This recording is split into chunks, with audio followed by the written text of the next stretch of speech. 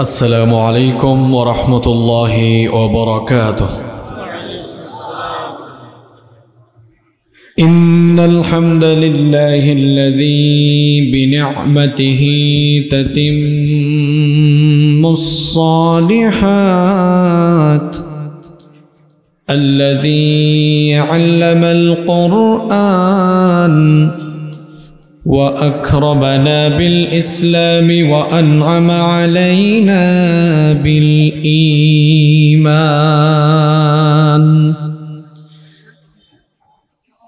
نستغفره ونتوب إليه. وأشهد أن لا إله إلا الله وحده لا شريك له. وأشهد أن سيدنا وسندنا وحبيبنا وطبيبنا وطبيب أرواحنا محمدا عبد الله ورسوله. أرسله بالحق بشيرا ونذيرا وداعيا إلى الله بإذنه وسراجا وقمرا منيرا أما بعد فقد قال الله تعالى في كلامه المجيد وفي فرقانه الحميد. أعوذ بالله من الشيطان الرجيم. بسم الله الرحمن الرحيم. إن الله وملائكته يصلون على النبي. يا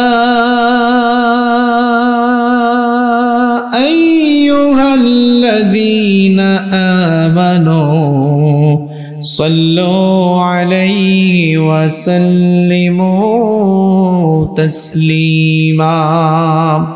সবাই দুরুদ পাঠ করেন। اللهم صل على محمد وعلى آل محمد كما صليت على إبراهيم وعلى آل إبراهيم. إنك حميد مجيد. اللهم بارك على محمد وعلى آل محمد كما باركت على إبراهيم وعلى آل إبراهيم. إنك حميد مجيد. ربي زدني علما. ربي زدني علما. رب اشرح لي صدري ويسر لي أمري. واحلل عقدة من لساني يفقه قولي. سبحانك لا علم لنا إلا ما علمتنا إنك أنت العليم الحكيم صدق الله العظيم তুমি আরো সে থাকো প্রভু, আমি জমিনে। তবু তোমারি প্রেম জমে, হৃদয় গহীনে। তুমি আরও সে থাকো প্রভু, আমি জমিনে।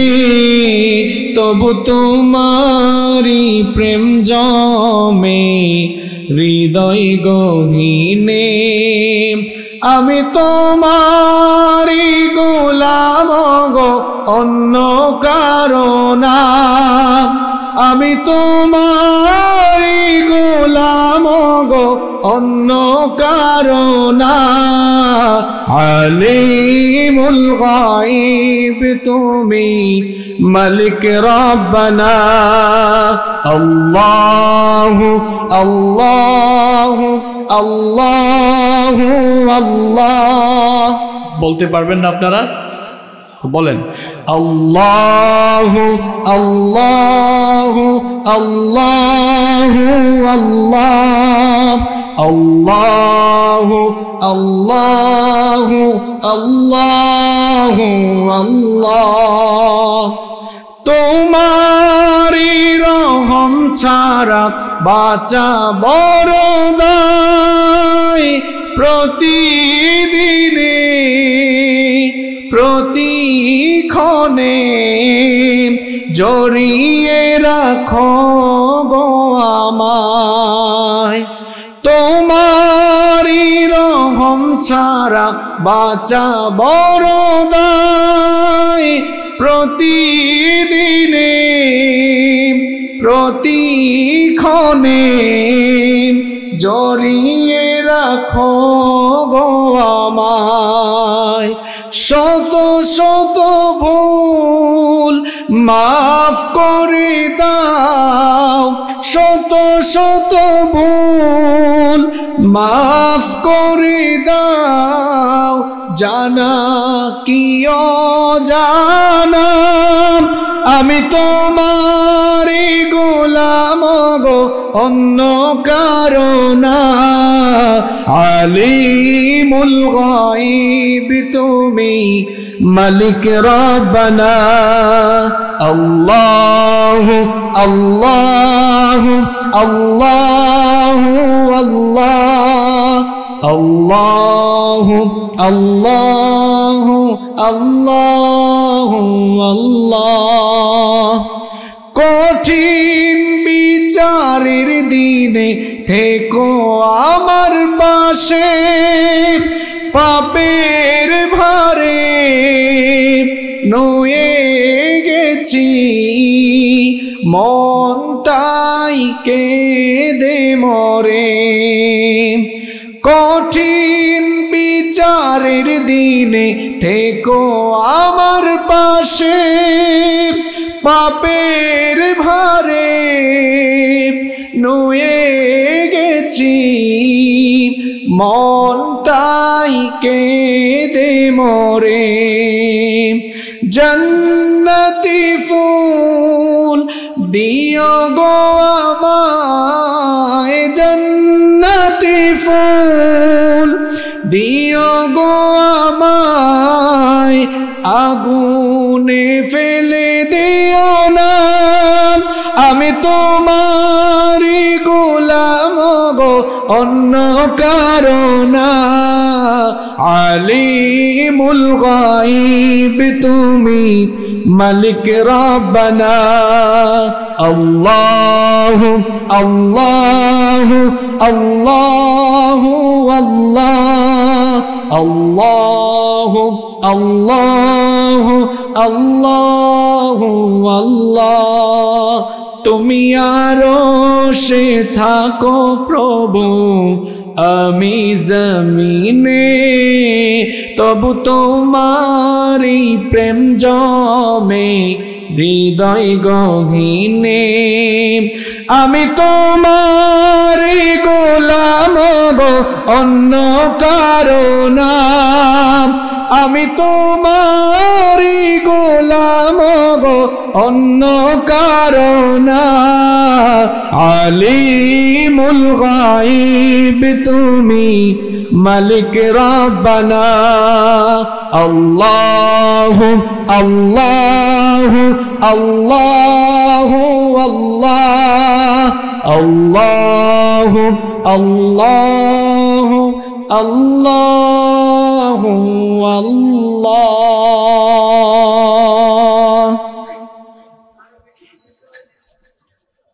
বাংলাদেশের অত্যন্ত সুপরিচিত প্রাকৃতিক সৌন্দর্যের নৈসর্গিক লীলাভূমি কক্সবাজার জেলার টেকনাফ উপজেলার অন্তর্গত ঐতিহ্যবাহী নীলা ইউনিয়ন পরিষদের অন্তর্গত। পুরাতন বাজার ছাত্র কল্যাণ পরিষদের উদ্যোগে আয়োজিত আজকের এই ঐতিহাসিক তফসিরুল কোরআন মাহফিলের মোহতারাম শ্রদ্ধাভাজন সভাপতি।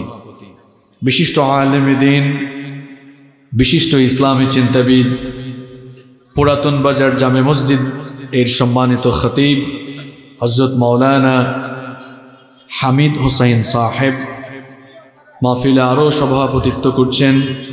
বিশিষ্ট আলেম দিন, উত্তর ফুলের ডেইল জামে মসজিদের সম্মানিত খতিব হজরত মাওলানা জাকির হোসাইন সাহেব। আমরা দোয়া করছি আল্লাহ তালা সভাপতিদ্বয়ের নেক হায়াত বাড়িয়ে দিন এবং তাদের প্রত্যেককেই দিনের এক একজন একনিষ্ঠ খাদেম হিসাবে আল্লাহ তালা কবুল করুন। আমরা সবাই বলি আমিন।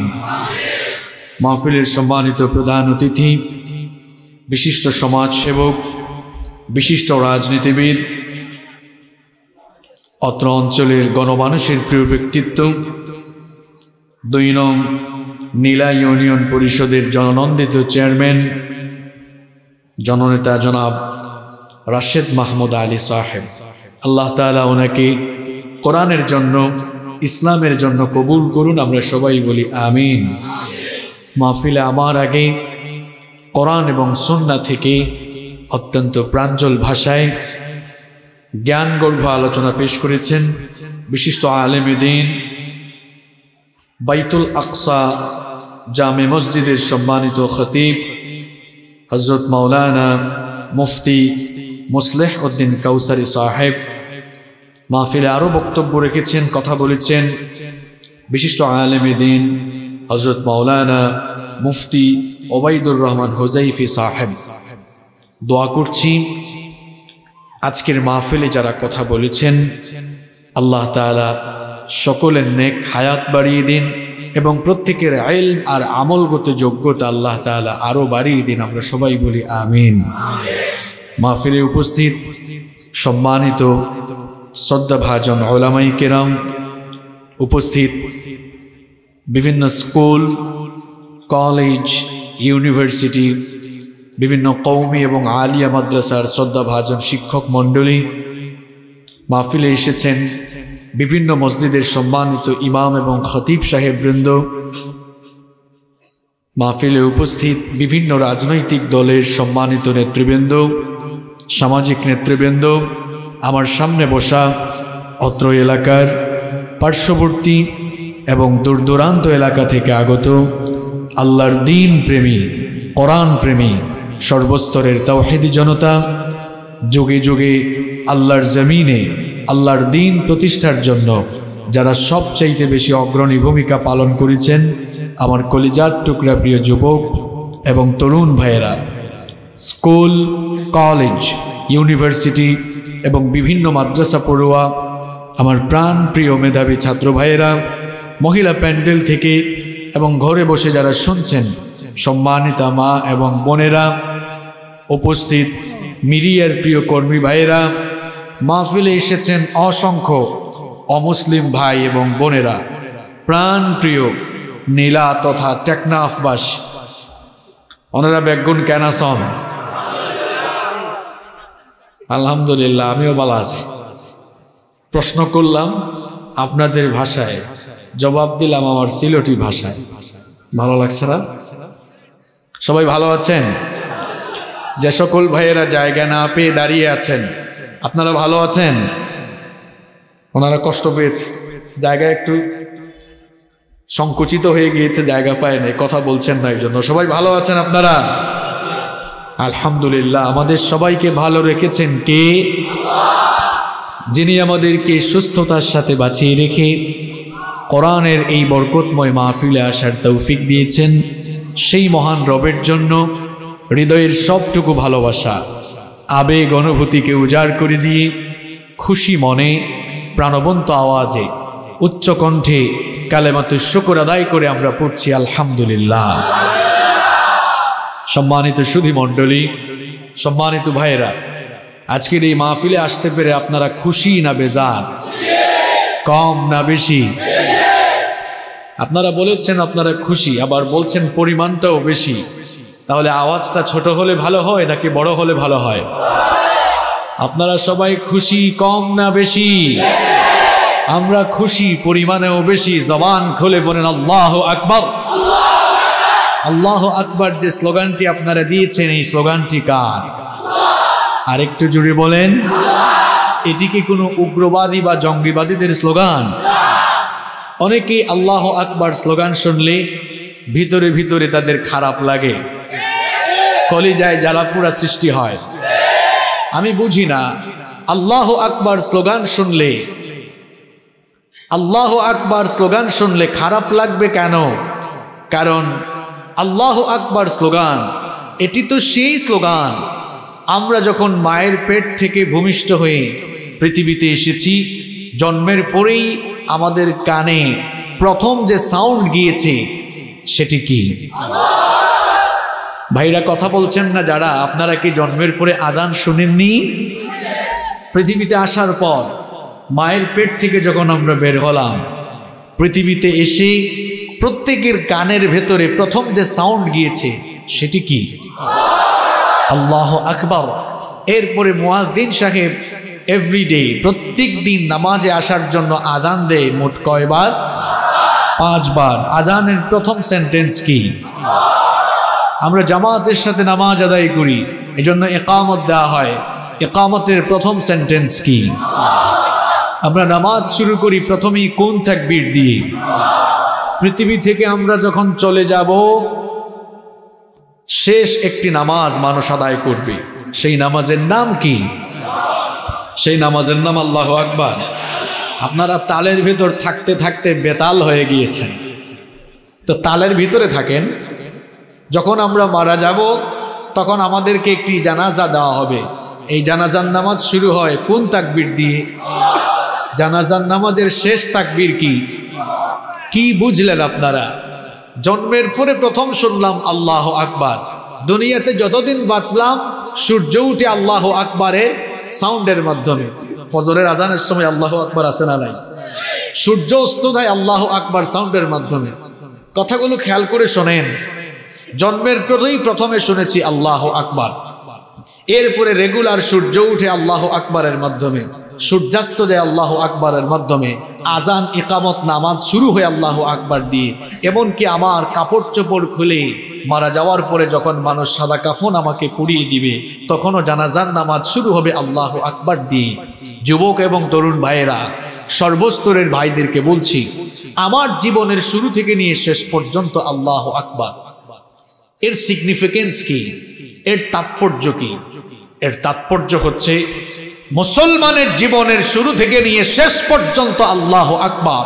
এটি দিয়ে আল্লাহ তালা মুসলমানকে শিক্ষা দিতে চেয়েছেন, মুসলমানের সন্তানকে আল্লাহ এটাই বুঝাতে চেয়েছেন, তোমার জন্ম হয়েছে আল্লাহ আকবার শুনে, আবার মৃত্যুর পরেও আল্লাহ আকবরের ধ্বনি প্রতিধ্বনিত হবে।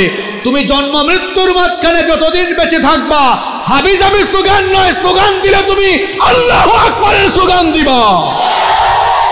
হে যুবক এবং তরুণ ভাইয়েরা তোমাদের কণ্ঠস্বর থেকে আজ হাবি জাবি স্লোগান পাওয়া যায়। তোমার জন্মই হয়েছে আল্লাহর এই জমিনে, আল্লাহর নামের তাকবি দেওয়ার জন্য।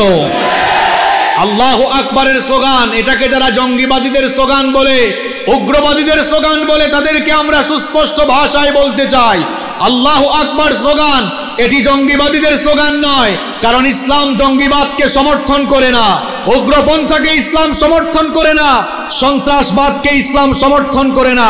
বরং ইসলাম এসেছে উগ্রপন্থা, চরমপন্থা, সন্ত্রাসবাদ আর জঙ্গিবাদকে নির্মূল করার জন্য। আল্লাহ আকবার শুনলে যাদের খারাপ লাগে তাদেরকে বলব, অচিরেই আপনার রক্ত পরীক্ষা করা দরকার। কারণ আল্লাহ আকবরের স্লোগান শুনলে আবু জেহেলের খারাপ লেগেছে, অচিরেই গিয়ে আপনার রক্ত পরীক্ষা করান, রক্তের ভেতরে আবু জেহেলের ভাইরাস ঢুকছে কিনা সেটা যাচাই করে দেখেন। আল্লাহ আকবরের স্লোগান এটা বদরের স্লোগান, আল্লাহ আকবরের স্লোগান অহুদের স্লোগান। আল্লাহ আকবরের স্লোগান, এটি হচ্ছে বাতিলের সামনে ইমানদারদের ইমানদীপ্ত চেতনার স্লোগান। দেখেননি ভারতের দক্ষিণ পশ্চিমাঞ্চল কর্ণাটক রাজ্যের মুস্কান নামের এক মেয়ে, তাকে যখন কলেজে ঢুকতে কিছু বখাটে, কিছু দুষ্কৃতিকারী, কিছু লম্পট ছেলেরা হিজাব পরার কারণে যখন কলেজের মেয়েদেরকে উত্তপ্ত করছিল, মুস্কান নামের মেয়েটি যখন, আপনাদের এলাকায় ইন্টারনেট আছে তো ঘটনাটা জানেন তো আপনারা? মাশা আল্লাহ তাহলে তো আপনারা আরও ভালো করে বুঝবেন। মেয়েটি যখন কলেজে ঢুকছিল, তখন জয় শ্রীরাম জয় শ্রীরাম বলে কিছু বখাটেরা ওই মেয়েটির সামনের দিকে এগিয়ে আসছিল। মেয়েটি তখন আল্লাহ আকবার বলে স্লোগান দিয়েছিল। বেশ কিছু সংবাদ মাধ্যমে দেখলাম, মেয়েটিকে সাংবাদিকরা জিজ্ঞেস করলেন, যখন বখাটেরা উত্তক্ত করছিল আপনাকে, আপনার দিকে এগিয়ে আসছিল, তখন আপনি আল্লাহ আকবারের স্লোগান দিয়েছেন কেন? মেয়েটি তখন বলল, এরা যখন আমার দিকে এগিয়ে আসছিল, আমি চিন্তা করলাম, আমি যদি মানুষকে বলে হেল্প মি বাঁচাও বাঁচাও, এগিয়ে আসো মানুষের কাছে যদি সাহায্য চাই, তাহলে ওরা আমাকে দুর্বল মনে করবে। এজন্য আমি চিন্তা করলাম, এমন পরিস্থিতি থেকে আল্লাহ তালাই আমাকে হেফাজত করার জন্য যথেষ্ট। এজন্য আমি আল্লাহর নামের তাকবির দিলাম, আল্লাহর বরত্ব ঘোষণা করে আল্লাহ আকবরের এই তাকবির যখন আমি দিলাম তখন ওরা এই তাকবির শুনে অনেকেই ভীত সন্ত্রস্ত হয়ে গিয়েছিল। আল্লাহ আকবরের স্লোগান, এটি এমন এক স্লোগান। এই স্লোগানকে এই স্লোগানকে দিন বিরোধীরা এত বেশি ভয় পায়। এরা বুলেট, বোমা গুলিকেও এত বেশি ভয় পায় না। আল্লাহ আকবরের ইমানদীপ্ত চেতনার এই স্লোগানকে তারা যত ভয় পায়। সম্মানিত ভাইয়েরা সম্মানিত ভাইয়েরা, আজ যুবকরা যখন আল্লাহ আকবার স্লোগান দেয় তখন দেখা যায় কিছু সংখ্যক লোক, এরা একটু যুবকদের কণ্ঠ চেপে ধরার চেষ্টা করে। আর বর্তমানে তো কোরআনের পক্ষে, ইসলামের পক্ষে যুবকদের গণজোয়ার, গণবিস্ফোরণ শুরু হয়েছে, আলহামদুলিল্লাহ পড়েন। এই মাহফিল যারা অ্যারেঞ্জ করেছে, আয়োজন করেছে, এদের সবাই যুবক এবং তরুণ। এরা সবাই ছাত্র। বয়সে তরুণ, বয়সে যুবক। এক সময় যুবক এবং তরুণরা তাদের সময় এবং টাকা নষ্ট করে গানের আয়োজন করত। নাচের আয়োজন করত। আর এখন যুবক আর তরুণরা নিজেরা কোরআন শোনার জন্য এবং মানুষকে কোরআন শোনানোর জন্য তারা কোরআনের প্রোগ্রামগুলো বাস্তবায়ন করছে। এই জন্য এই চিত্র দেখে ইসলাম বিরোধীদের কলিজার মধ্যে আগুন ধরে গিয়েছে। তারা এটিকে কোনোভাবেই মেনে নিতে পারছে না, কারণ এই যুবক এবং তরুণরা হচ্ছে একটি জাতির জন্য, সভ্যতার জন্য মেরুদণ্ড।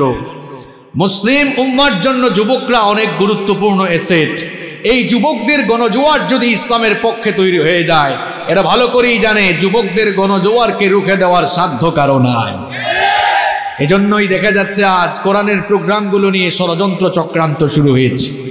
আমরাও দ্ব্যর্থহীন কণ্ঠে বলতে চাই, কোরআনের পক্ষে, ইসলামের পক্ষে যুবকদের যে গণজোয়ার শুরু হয়েছে, এই গণজোয়ারকে বাধাগ্রস্ত করার জন্য যারা দুঃসাহস দেখাবে, স্রোতের সামনে যাই আসে তা যেমন ভেসে যায়, কোরআনের জন্য, ইসলামের জন্য যুবকদের যে গণজোয়ার আজ তৈরি হয়েছে, এই গণজোয়ারকে রুখে দেওয়ার জন্য যারা এই দুঃসাহস দেখাবে, তারাও স্রোতের সাথে ভেসে গিয়ে বঙ্গোপসাগরে নিক্ষিপ্ত হবে। যুবকদের এই গণজোয়ারকে কেউ রুখে দিতে পারবে না। যে সকল যুবক এবং তরুণ ভাইয়েরা কষ্ট করে, পরিশ্রম করে আজকের এই প্রোগ্রামটি বাস্তবায়ন করেছেন, আমরা দোয়া করছি আল্লাহ তাআলা তাদের সকলকে দিনের জন্য কবুল করুন, আমরা সবাই বলি আমিন। সম্মানিত ভাইয়েরা, আমরা কোরআনের মাহফিলে এসেছি। কোরআনুল করিম, এটি সাম্প্রদায়িক কোনো কিতাব নয়। এটি হচ্ছে সার্বজনীন কিতাব। কোরআনুল করিম যদি সাম্প্রদায়িক কোনো কিতাব হতো, তাহলে আল্লাহ তালা কোরআনুল করিমের মধ্যে বলতেন হুদাল্লিল মুমিনিন অথবা বলতেন হুদাল্লিল মুসলিমিন এখানে অনেক আলেম ওলামা বসে আছেন। ওনাদেরকে সাক্ষী রেখে বলছি, কোরআনুল করিমের কোথাও আল্লাহ তালা হুদাল্লিল মুমিনিন বলেননি, হুদাল্লিল মুসলিমিনও বলেননি। বরং আল্লাহ তালা বলেছেন, হুদাল্লিন নাস। আল্লাহ তালা বলেছেন, এই কোরআন যারা মানুষ, সকল ধর্ম, বর্ণ, জাতি, গোষ্ঠী নির্বিশেষে এই দুনিয়ার সকল মানুষের জন্য এই হেদায়েতের কিতাব নাজিল করেছেন কে? আল্লাহ তাআলা তিনি সাম্প্রদায়িক নয়। তিনিও সার্বজনীন, তিনি সবার রব। এই জন্য আল্লাহ তাআলা তার পরিচয় দিয়েছেন, আলহামদুলিল্লাহ রব্বিল আলামিন। তিনি জগৎ সমূহের রব। কোরআন এটিও সার্বজনীন কিতাব, সকলের জন্য প্রেরিত কিতাব। এই জন্য আল্লাহ বলেছেন ইনহুয়া ইল্লা দিক্রুল্লিল আলামিন। এটি বিশ্ববাসীর জন্য জগৎ সমূহের জন্য প্রেরিত উপদেশ সম্বলিত কিতাব। আবার যেই পয়গাম্বার, যেই নবীকে আল্লাহ তাআলা আমাদের হেদায়েতের জন্য পাঠিয়েছেন, তিনিও সাম্প্রদায়িক নন তিনিও সার্বজনীন। যদি তিনি সাম্প্রদায়িক হতেন, তাহলে আল্লাহ তালা বলছেন, আল্লাহ তালা বলতেন তিনি মুসলমানদের নবী। এখানে অসংখ্য আলেম ওলামাদেরকে সাক্ষী রেখে আমি বলছি, আল্লাহ তালা নবীর পরিচয় দিয়েছেন রাহমাতাল্লিল আলামিন। তিনি জগৎবাসীর প্রতি প্রেরিত রহমত। জগৎবাসীর জন্য প্রেরিত আল্লাহর পয়গাম্বার সুবাহান আল্লাহ পড়েন। তাহলে দেখেন তিনটি কথা আমি বলে ফেলেছি। আল্লাহর পরিচয় রব্বুল আলামিন, কোরআনের পরিচয় দিকরুল্লিল আলামিন, আর নবীর পরিচয় রাহমাতাল্লিল আলামিন। দেখেন তো, তিনটি পরিচয় দেওয়ার ক্ষেত্রে আলামিন শব্দ আছে না নাই? আলামিন মানে জগৎবাসী, আল্লাহ জগৎ সমূহের রব, কোরআন জগৎবাসীর কিতাব, নবীজি জগৎবাসীর সকলের জন্য প্রেরিত নবী সুবহান আল্লাহ এই কথাটি বক্তব্যের শুরুতে কেন বললাম? অসংখ্য অমুসলিম ভাই বোনরা আমি শুনেছি মাহফিলে এসেছেন। আমরা আজকের মাহফিল কমিটির পক্ষ থেকে, আমার পক্ষ থেকে তাদেরকে আমি অভিনন্দন জানাচ্ছি, ধন্যবাদ জানাচ্ছি। আপনারা এসেছেন। আমাদের এই অনুষ্ঠান, এটি সাম্প্রদায়িক অনুষ্ঠান নয়। এটি কোরআনের মাহফিল, এই কোরআন আপনাদের জন্য। সুতরাং আপনারা এসেছেন, আমরা অনেক খুশি হয়েছি এবং আমরা আশা করি এই কোরআন থেকে শুধু আমরা নই, আপনারাও এক কথায় সকল মানুষ বেনিফিটেড হবেন ইনশা আল্লাহ, সম্মানিত উপস্থিতি, সম্মানিত ভাইয়েরা, এই কোরআন, এটি এমন একটি কিতাব, এই কিতাব আল্লাহ তাআলা আমাদের জন্য নাজিল করেছেন, যেন এই কিতাবের আলোকে জীবন পরিচালনা করে আমরা দুনিয়া আখেরাতে সফল হতে পারি। যেই কিতাব আমাদের দুনিয়া আখেরাতে সফলতার জন্য আল্লাহ তাআলা নাজিল করেছেন, দুঃখজনক হলেও সত্য, আজ সেই কিতাব সেই কিতাব থেকে আমরা অনেক দূরে সরে গিয়েছি।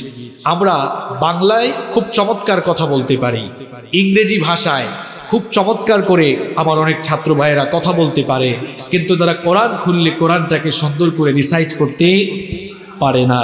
আমাদের সমাজে এমন অসংখ্য মানুষ আছে যাদের পরিচয় মুসলমান, কিন্তু তারা এখনও কোরআনুল করিম শুদ্ধ করে তালাবাদ করতে জানে না। এর কারণ কি? কেন মুসলমানের সন্তানরা এখন কোরআন শুদ্ধ করে পড়তে পারছে না? এর কারণটা কি আমরা কখনো খুঁজেছি? এর কারণ হচ্ছে কোরআনুল করিমের স্পেশালিটি এর ডিগনিটি আমরা এখনও অনুধাবন করতে পারিনি। আমরা মনে করি, এই কোরআন মোল্লাদের কিতাব, এটা হুজুরদের কিতাব। এই কোরআন এসেছে হুজুররা পড়ার জন্য। যাদের এই দৃষ্টি যাদের এই দৃষ্টিভঙ্গি আছে, তাদেরকে বলব, আপনি ভুল বুঝেছেন, এই কোরআন হুজুরদের জন্য আসেনি। বরং এই কোরআন আপনার জন্য তথা সমগ্র দুনিয়ার মানবতার জন্য নাজিল করেছেন। কে? কিন্তু আপনি এখনও কোরআনটা পড়তে পারেন না। আপনি কি জানেন এটা তো জ্ঞানের কিতাব। এটা শুধু ঝাড়ফুকের কিতাব নয়। আজ আমরা এই কোরআনকে ঝাড়ফুকের কিতাব, তাবিজের ব্যবসার কিতাব বানিয়েছি। কি আশ্চর্য অবস্থা। কোরআন আল্লাহ তালা পাঠিয়েছেন আমাদের হেদায়তের জন্য। কিন্তু আজ দুনিয়ার অসংখ্য মুসলমানরা এই কিতাবকে ঝাড় ফুকের কিতাব বানিয়েছে। দেখা যায় অনেকে কোরআন থেকে ঝাড় ফুক দেয়। ঝাড় ফুক দেওয়া জায়েজ আছে, কোনো অসুবিধা নাই। কিন্তু কেবলমাত্র তো ঝাড় ফুক দেওয়ার জন্য কোরআন আসে নাই। আবার অনেক জায়গায় দেখা যায় মুমূর্ষ রোগী দুনিয়া থেকে চলে যাবে। এই রকম মুমূর্ষ কোনো লোকের পাশে বসে কোরআন তেলাওয়াত করা হয় সুরাই হাসিন তেলাওয়াত করা হয়। অসুবিধা নাই, সেখানে সুরাই হাসিন তেলাওয়াত করেন, ফজিলত আছে, অসুবিধা নাই।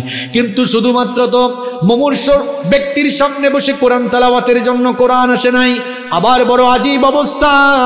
কিছু আবার আবার কিছু জায়গায় দেখা যায়, মানুষ মারা যাওয়ার পর কোরআন খতমের পর খতম দেওয়া হয়। আপনাদের টেকনাফেও এই চিত্র আছে না নাই? দেখা যায়, মানুষ মারা গেল, মারা যাওয়ার পরে কোরআনকে ঘরের উপরের জায়গা থেকে নামায়। কোরআন খুলে এবার খতমের পর খতম দেওয়া হয়। আমার বাবারা, আমার ভাইয়েরা, কোরআন কেবলমাত্র ঝাড়ফুকের জন্য, মোমূর্ষ লোকের সামনে তেলাওয়াতের জন্য আসে নাই। আর মরা মানুষের জন্য কোরআন আসে নাই। বরং কোরআন এসেছে যারা জীবিত মানুষ। জীবিত মানুষরা কোরআন পড়ে কোরআন বুঝে হেদায়াত নিবে। কোরআনের আলোয় আলোকিত জীবন গঠন করবে। এই জন্য কোরআন নাজিল করেছেন কে? কিন্তু আপনি জীবিত অবস্থায় কোরআন পড়েন না। পড়েন না কেন?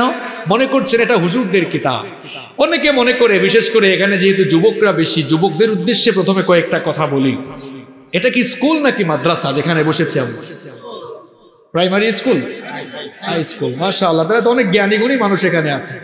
অনেকে মনে করে, এখন বিজ্ঞানের যুগ, আধুনিক বিজ্ঞানের এই যুগে, মধ্যযুগীয় এই কিতাব, মধ্যযুগে নাজিল হওয়া কিতাব, এটা আমরা এখন কেন শিখব এখন আমরা বিজ্ঞান পড়ব এখন আমরা বিজ্ঞান পড়ব, আমরা কমার্সে পড়ব এখন আমরা চিকিৎসা বিজ্ঞান অধ্যয়ন করব। কোরআন যেন তাদের কাছে মূল্যায়ন তাদের কাছে আজ মূল্যহীন হয়ে গিয়েছে, অথচ তারা জানেই না, কোরআন হচ্ছে এই দুনিয়ার সবচেয়ে বিজ্ঞানময় কিতাব Keep in your mind is no contradiction between the Holy Book Quran and science. কোরআনের সাথে বিজ্ঞানের কোনো দ্বন্দ্ব নেই, বরং বিজ্ঞান কোরআন থেকে এখনও অনেক পিছিয়ে আছে। বিজ্ঞান কোরআনের ধারে কাছেও যেতে পারেনি।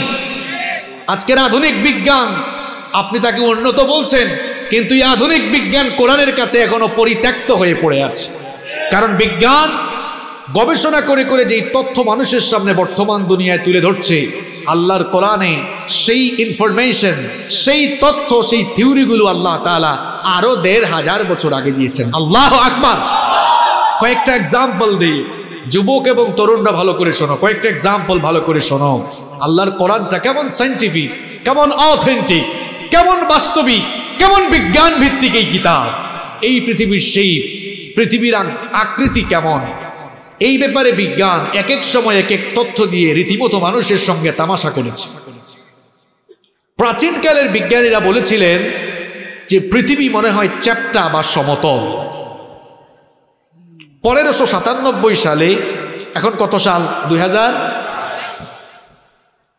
দু হাজার কত সাল? পুরুষ মানুষের মতো বলেন। দু হাজার বাইশ সাল। পনেরোশো সাতানব্বই সালে ফ্রান্সিস ড্রেক জলপথে পরিভ্রমণ করে তিনি বললেন প্রাচীনকালের বিজ্ঞানীরা যে বলেছেন পৃথিবী চ্যাপ্টা বা সমতল, তাদেরই, তাদের দেওয়া এই তত্ত্ব ভুল আমি জলপথে ভ্রমণ করে দেখেছি পৃথিবী গোল। বিজ্ঞান উন্নত হলো। উন্নত হতে হতে আধুনিক বিজ্ঞান এখন স্যাটেলাইটের যুগে প্রবেশ করল। আধুনিক বিজ্ঞান স্যাটেলাইটের যুগে প্রবেশ করে বর্তমান বিজ্ঞানীরা বললেন, পনেরোশো সাতানব্বই সালের দেওয়া তথ্য পৃথিবী গোল, এই তথ্য এখন ভুল। তাহলে পৃথিবী কেমন? ছাত্ররা বলো, পৃথিবীর আকৃতি কেমন? হ্যাঁ? ডিম্বাকৃতির, এই যে এখানে কয়েকজন বলেছে। ডিমকে আপনারা আঞ্চলিক ভাষায় কি বলেন? হ্যাঁ কি বলে? ডিমি বলে না? আমরা সিলেট হয় এন্দা। তুরা সিলেটি ভাষাও শিখাই যাই। এটা তুরা মানে সামান্য। তুরা সিলেটি ভাষাও শিখাইয়া যায় আপনারে। শিখতা নেই মানে শিখতা নেই। হ্যাঁ? আচ্ছা। ডিমকে সিলেটে বলে এন্দা। ডিমটা কি একেবারে গোল? না। তো দেখেন প্রাচীনকালের বিজ্ঞানীরা বলল, পৃথিবী চ্যাপ্টা বা সমতল। পনেরোশো সাতানব্বই সালে ফ্রান্সিস ড্র্যাক বললেন, না, পৃথিবী গোল। আর বর্তমান বিজ্ঞান বলল, গোল, এই তত্ত্ব ভুল। আসলে পৃথিবী হচ্ছে ডিম্বাকৃতি।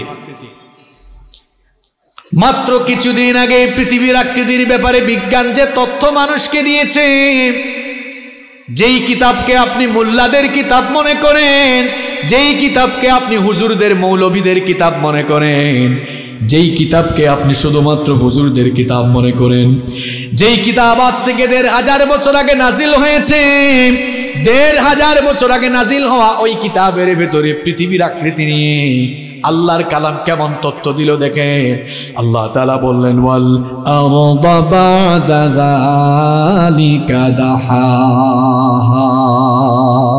আল্লাহ তালা বলছেন এই পৃথিবীকে আমি কেমন বানিয়েছি? দাহা। ওলামাই কেরাম এখানে বসে আছেন। Arabic dictionary. কমস খুলে দেখবেন। উট পাখির ডিমকে আরবিতে বলা হয় দাহা। আল্লাহ তালা বললেন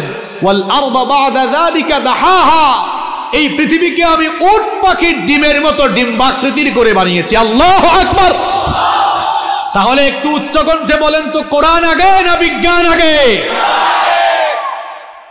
বিজ্ঞানের যুগের ভাইরা ভালো করে শোনেন, যেই কোরআনকে আপনি এখনও শিখেননি মনে করছেন হুজুরদের কিতাব। আপনার বিজ্ঞান কোরআনের ধারে কাছেও যেতে পারে নাই। কারণ কোরআন যে তথ্য দিয়েছে দেড় হাজার বছর আগে বিজ্ঞান তা জেনেছে এখন, সুতরাং বিজ্ঞান কোরআনের কাছে এখনও অবুধ শিশু হয়ে বসে আছে। আরও কত কত তথ্য দিব? আমি তো কোরআনিক সায়েন্স নিয়ে পড়াশোনা করে আসা মানুষ। কোরআন বিজ্ঞান নিয়ে পড়াশোনা, গবেষণা করে আসা মানুষ, কত তথ্য নিবেন আপনি শোনেন? এই যে দেখেন, হাতের আঙ্গুল ফিঙ্গারপ্রিন্ট আরবিতে বলা হয় বাসমা, ইংরেজিতে বলা হয় ফিঙ্গারপ্রিন্ট আর বাংলায় আমরা বলি, কি বলেন আপনারা?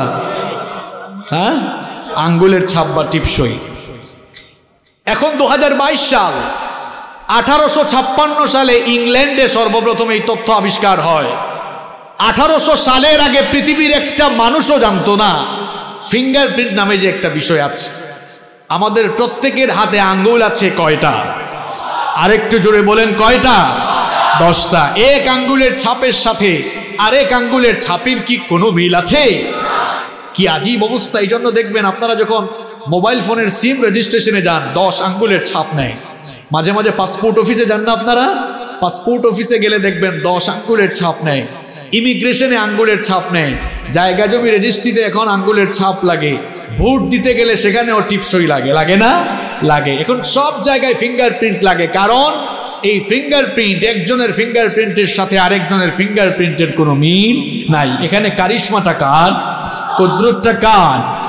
পৃথিবীতে বর্তমানে আটশো কোটি মানুষ বাস করছে। একজনের ফিঙ্গারপ্রিন্টের সাথে আরেকজনের ফিঙ্গারপ্রিন্টের কোনো মিল নাই। আঠারোশো ছাপ্পান্ন সালে ব্রিটিশ বিজ্ঞানী উইলিয়াম হার্সেল মানব দেহের উপরে গবেষণা চালিয়ে সর্বপ্রথম এই তথ্য ইংল্যান্ডবাসীকে তিনি জানালেন, সেখান থেকে গোটা দুনিয়ায় এই তথ্য ছড়িয়ে গিয়েছে। আজ থেকে মাত্র দুইশো বছর আগে আপনার বিজ্ঞান যে তথ্য মানুষকে ফিঙ্গারপ্রিন্টের ব্যাপারে দিয়েছে, দেড় হাজার বছর আগে নাজিল হওয়া কিতাব কোরআনে করিম। এর পঁচাত্তর নম্বর সুরা সুরাতুল কিয়ামা এর তিন নম্বর আয়াত আপনি খুলে দেখুন আল্লাহ তাআলা সেখানে বলেছেন أيحسب أن لن نجمع عظاما بلى قادرين على أن نسوي بنانا আল্লাহ তাআলা বলছেন যেই সকল লোকেরা মৃত্যু পরবর্তী জীবনকে অস্বীকার করে দুনিয়াতে কিছু মানুষ আছে। এরা মনে করে মানুষ যখন মারা যাবে, মানুষের দেহ যখন পচে যাবে, গলে যাবে। মানুষের দেহ যখন মাটি খেয়ে ফেলবে, মানুষের দেহ যখন মাটির সঙ্গে মিশে যাবে। মানুষের হাড্ডি গুড্ডি অস্থিপিঞ্জর যখন ছিন্ন বিচ্ছিন্ন আলাদা হয়ে যাবে। তাদের ধারণা হলো, ছিন্ন বিচ্ছিন্ন হয়ে যাওয়া সেই অঙ্গ প্রত্যঙ্গগুলোকে জোড়া লাগিয়ে কে আবার মানুষকে জিন্দা করবে?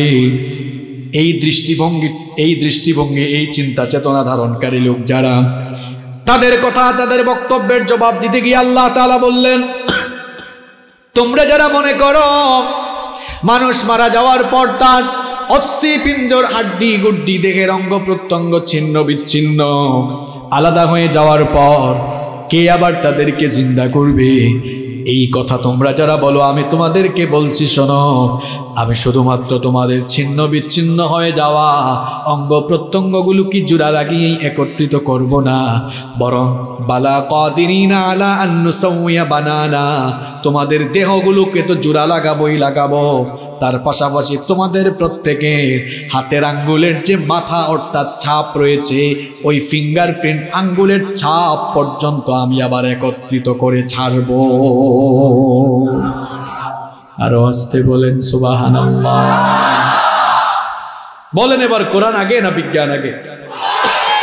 আরও জোরে বলেন, কোরআন আগে না বিজ্ঞান আগে? পৃথিবী ঘুরে না সূর্য ঘুরে? কি ঘুরে এটা নিয়ে বিজ্ঞানীদের মাথায় ঘুরছে? সর্বপ্রথম টলেমি বলল, পৃথিবী স্থির। পৃথিবীকে কেন্দ্র করে সূর্য ঘুরছে। পনেরোশো বারো সালে কুপারনিকাস এসে বলল, না, টলেমি যা বলেছে সব বোঝ। আসলে পৃথিবীও ঘুরে, সূর্যও ঘুরে, তুমিও ঘুরো, আমিও ঘুরি। আজ থেকে মাত্র চার পাঁচশো বছর আগে ঘোরাঘুরি সমস্যার সমাধান বিজ্ঞান দিয়েছে ছাত্র ভাইরা যুবক ভাইরা শোনো দেড় হাজার বছর আগে যেই কোরআন নাজিল হয়েছে যেই কোরআনটা তুমি খোলো না পড়ো না বোঝার চেষ্টা করো না দেড় হাজার বছর আগে এই সাইন্টিফিক তথ্য আল্লাহর কালামের বিজ্ঞানময় সোরা সোরা ইয়াসিনের মধ্যে আল্লাহ বললেন والشمس تجري لمستقر لها ذلك تقدير العزيز العليم. والقمر قدرناه منازل حتى عاد كالعرجون القديم. لا الشمس ينبغي لها أن تدرك القمر ولا الليل سابق النهار وكل في فلك يسبحون আল্লাহ তালা বলছেন সূর্যের জন্য আমি একটি মঞ্জিল ঠিক করে দিয়েছি সূর্যের জন্য আমি একটি কক্ষপথ ঠিক করে দিয়েছি সূর্য তার ওই কক্ষপথে পরিভ্রমণ করছে। চাঁদের জন্য আমি একটি মঞ্জিল ঠিক করে দিয়েছি। চাঁদও তার নির্ধারিত মঞ্জিলে পরিভ্রমণ করছে। সূর্য কখনো চন্দ্রের নাগালে যেতে পারে না। রাত কখনো দিনের আগে যেতে পারে না। প্রত্যেকেই তাদের আপন আপন কক্ষপথ অনুযায়ী পরিভ্রমণ করছে। সুবান আল্লাহ কইতে মন চায় না। আপনারা কি আমার ভাষা বুঝতে পারছেন? আমি তো আপনাদের আঞ্চলিক ভাষা জানি না আমি নইলে মজা করে বলতাম। কারণ আমার ভাষা বুঝতে কষ্ট হচ্ছে আপনাদের। পেছনের ভাইরা, বুঝতে পারছেন? খুব দামি দামি তথ্য দিয়ে যাচ্ছি কিন্তু। তাহলে, এই যে বেশ কয়েকটা এক্সাম্পল দিলাম, আমি দিলে আরও দিতে পারব। অনেক দেয়া যাবে, কারণ করানুল কেরিমে ছয় হাজারের বেশি আয়াত আছে। তার মধ্যে প্রায় দেড় হাজার আয়াত শুধুমাত্র বিজ্ঞানের ব্যাপারে আছে। আল্লাহ আকবার! কি সাইন্টিফিক কি অথেন্টিক কিতাব। সুতরাং যুবক ভাইরা, ছাত্র ভাইয়েরা, তোমরা যারা এখন এই কোরআনটা শিখলে না, যারা মনে করছ বিজ্ঞানের যুগে আরবি কিতাব, এটা হুজুরদের কিতাব, আমি কেন শিখব? তোমাকে বলব, সব কিতাব ফালাইয়া থুইয়া সবার আগে তোমাকে কোরআন শিখা লাগবে। হয় হোয়াটস দ্য রিজন কারণ কি? কারণ it's the source of knowledge and science এটা জ্ঞান বিজ্ঞানের উৎস। এটা পৃথিবীর সবচেয়ে সবচেয়ে জ্ঞান সমৃদ্ধ কিতাব। সুতরাং সত্যিকারের জ্ঞানী তুমি হতে চাইলে সবার আগে এই কোরআনটা শিখো। এজন্য আমার ছাত্র ভাইদেরকে বলব, যুবকদেরকে বলব, আল্লাহর কোরআন শেখার জন্য পাগল পারা হয়ে যাও। আল্লাহর কোরআন শেখার জন্য তোমরা দেওয়ানা হয়ে যাও। আল্লাহর কোরআন শেখার জন্য তোমরা সবাই উঠে পড়ে লেগে যাও। যতদিন কোরআন না শিখব, ততদিন বসে থাকব না। পারবেন তো ইনশাল্লাহ এখন আমার বাবারা মনে করবেন, হুজুর আমাদেরকে ছাড় দিছে। আমার বাবাদেরকে বলব এবং সকল শ্রেণির মানুষদেরকে বলব, আল্লাহর কোরআনটা শিখে আল্লাহর আল্লাহর কোরআনটা শিখে কবরে যাইয়েন। কোরআন না শিখে কবরে যাইয়েন না, কবরের মাটি কিন্তু ভালো আচরণ করবে না। খবরদার কোরআন না শিখে কবর থেকে, এই দুনিয়া থেকে যাইয়েন না। কোরআন শিখা ফরজ নাকি নফল? আরেকটু জোরে বলেন, কোরআন শিখা ফরজ নাকি নফল? কোরআন শিখা আল্লাহ তালা আপনার জন্য ফরজ করেছেন। কোরআন না শিখে কবর এই দুনিয়া থেকে যাইয়েন না, নইলে হাসরের মাঠে অবস্থা বড় খারাপ হয়ে যাবে, কবরে অবস্থা খারাপ হয়ে যাবে। বলেন তো, হাসরের মাঠে নবীজির সুপারিশের দরকার আছে না নাই? হাসরের মাঠে নবীজির সুপারিশ কারা কারা চান না, হাত তুলেন।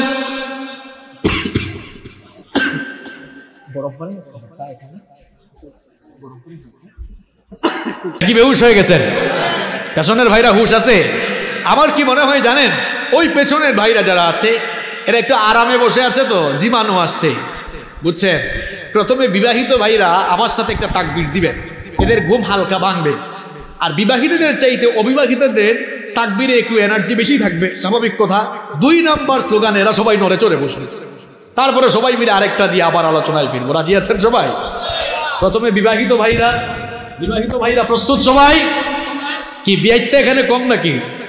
বিবাহিত কম? প্রস্তুত আপনারা? লিল্লাহি তাকবীর। এনার্জি বড় কম। বিয়ে শাদী হয়ে গেছে তো এই জন্য হইতে পারে। অবিবাহিত ভাইরা, প্রস্তুত তোমরা? লিল্লাহি তাকবীর। তোমাদের এনার্জি তো বেশি থাকবেই, স্বাভাবিক, তোমরা তো বিয়েই করো না এখনও। এখন সবাই ওই দেখেন, ঘুম টুম ভাঙছে, এখন সবাই দেন, লিল্লাহি তাকবীর।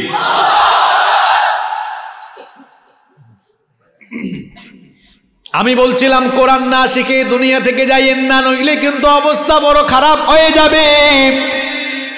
কেয়ামতের দিন আমরা সবাই নবীজির সুপারিশ চাই, কি চাই না? কোরআন না শিখে যারা দুনিয়া থেকে চলে যাবে, ওই সকল কপালপুরাদের জন্য নবীজি সুপারিশকারী হবেন না। বরং নবীজি নিজেই তাদের জন্য তাদের বিরুদ্ধে আল্লাহর আদালতে দাঁড়াবেন। কথাগুলো মুল্লার নয় জুড়ে বলেন, কথা কার? এবার শোনেন, কোরআন না শিখে, না বুঝে, না মেনে যারা দুনিয়া থেকে চলে যাবে। আল্লাহ তালা বলছেন হাসরের মাঠে নবীজি ওই লোকদের বিরুদ্ধে দাঁড়িয়ে আল্লাহর কাছে অভিযোগ করে বলবেন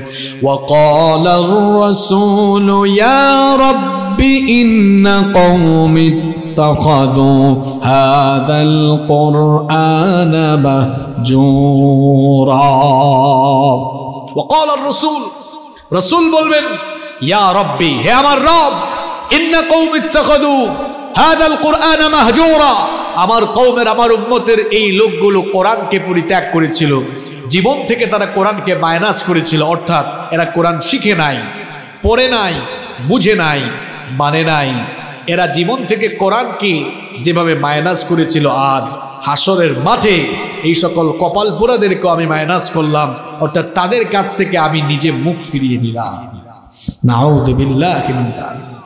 নবীজি যদি কারও কাছ থেকে মুখ ফিরিয়ে নেন, কে আর তার জন্য নাজাতের সুপারিশ করবে? কে আর তার পক্ষে দাঁড়াবে? কীভাবে তার মুক্তির ফয়সালা হবে? এই জন্য নবীজির সুপারিশ যদি পেতে চান, সবার আগে দুনিয়ায় আল্লাহর কোরআনটা শিখেন।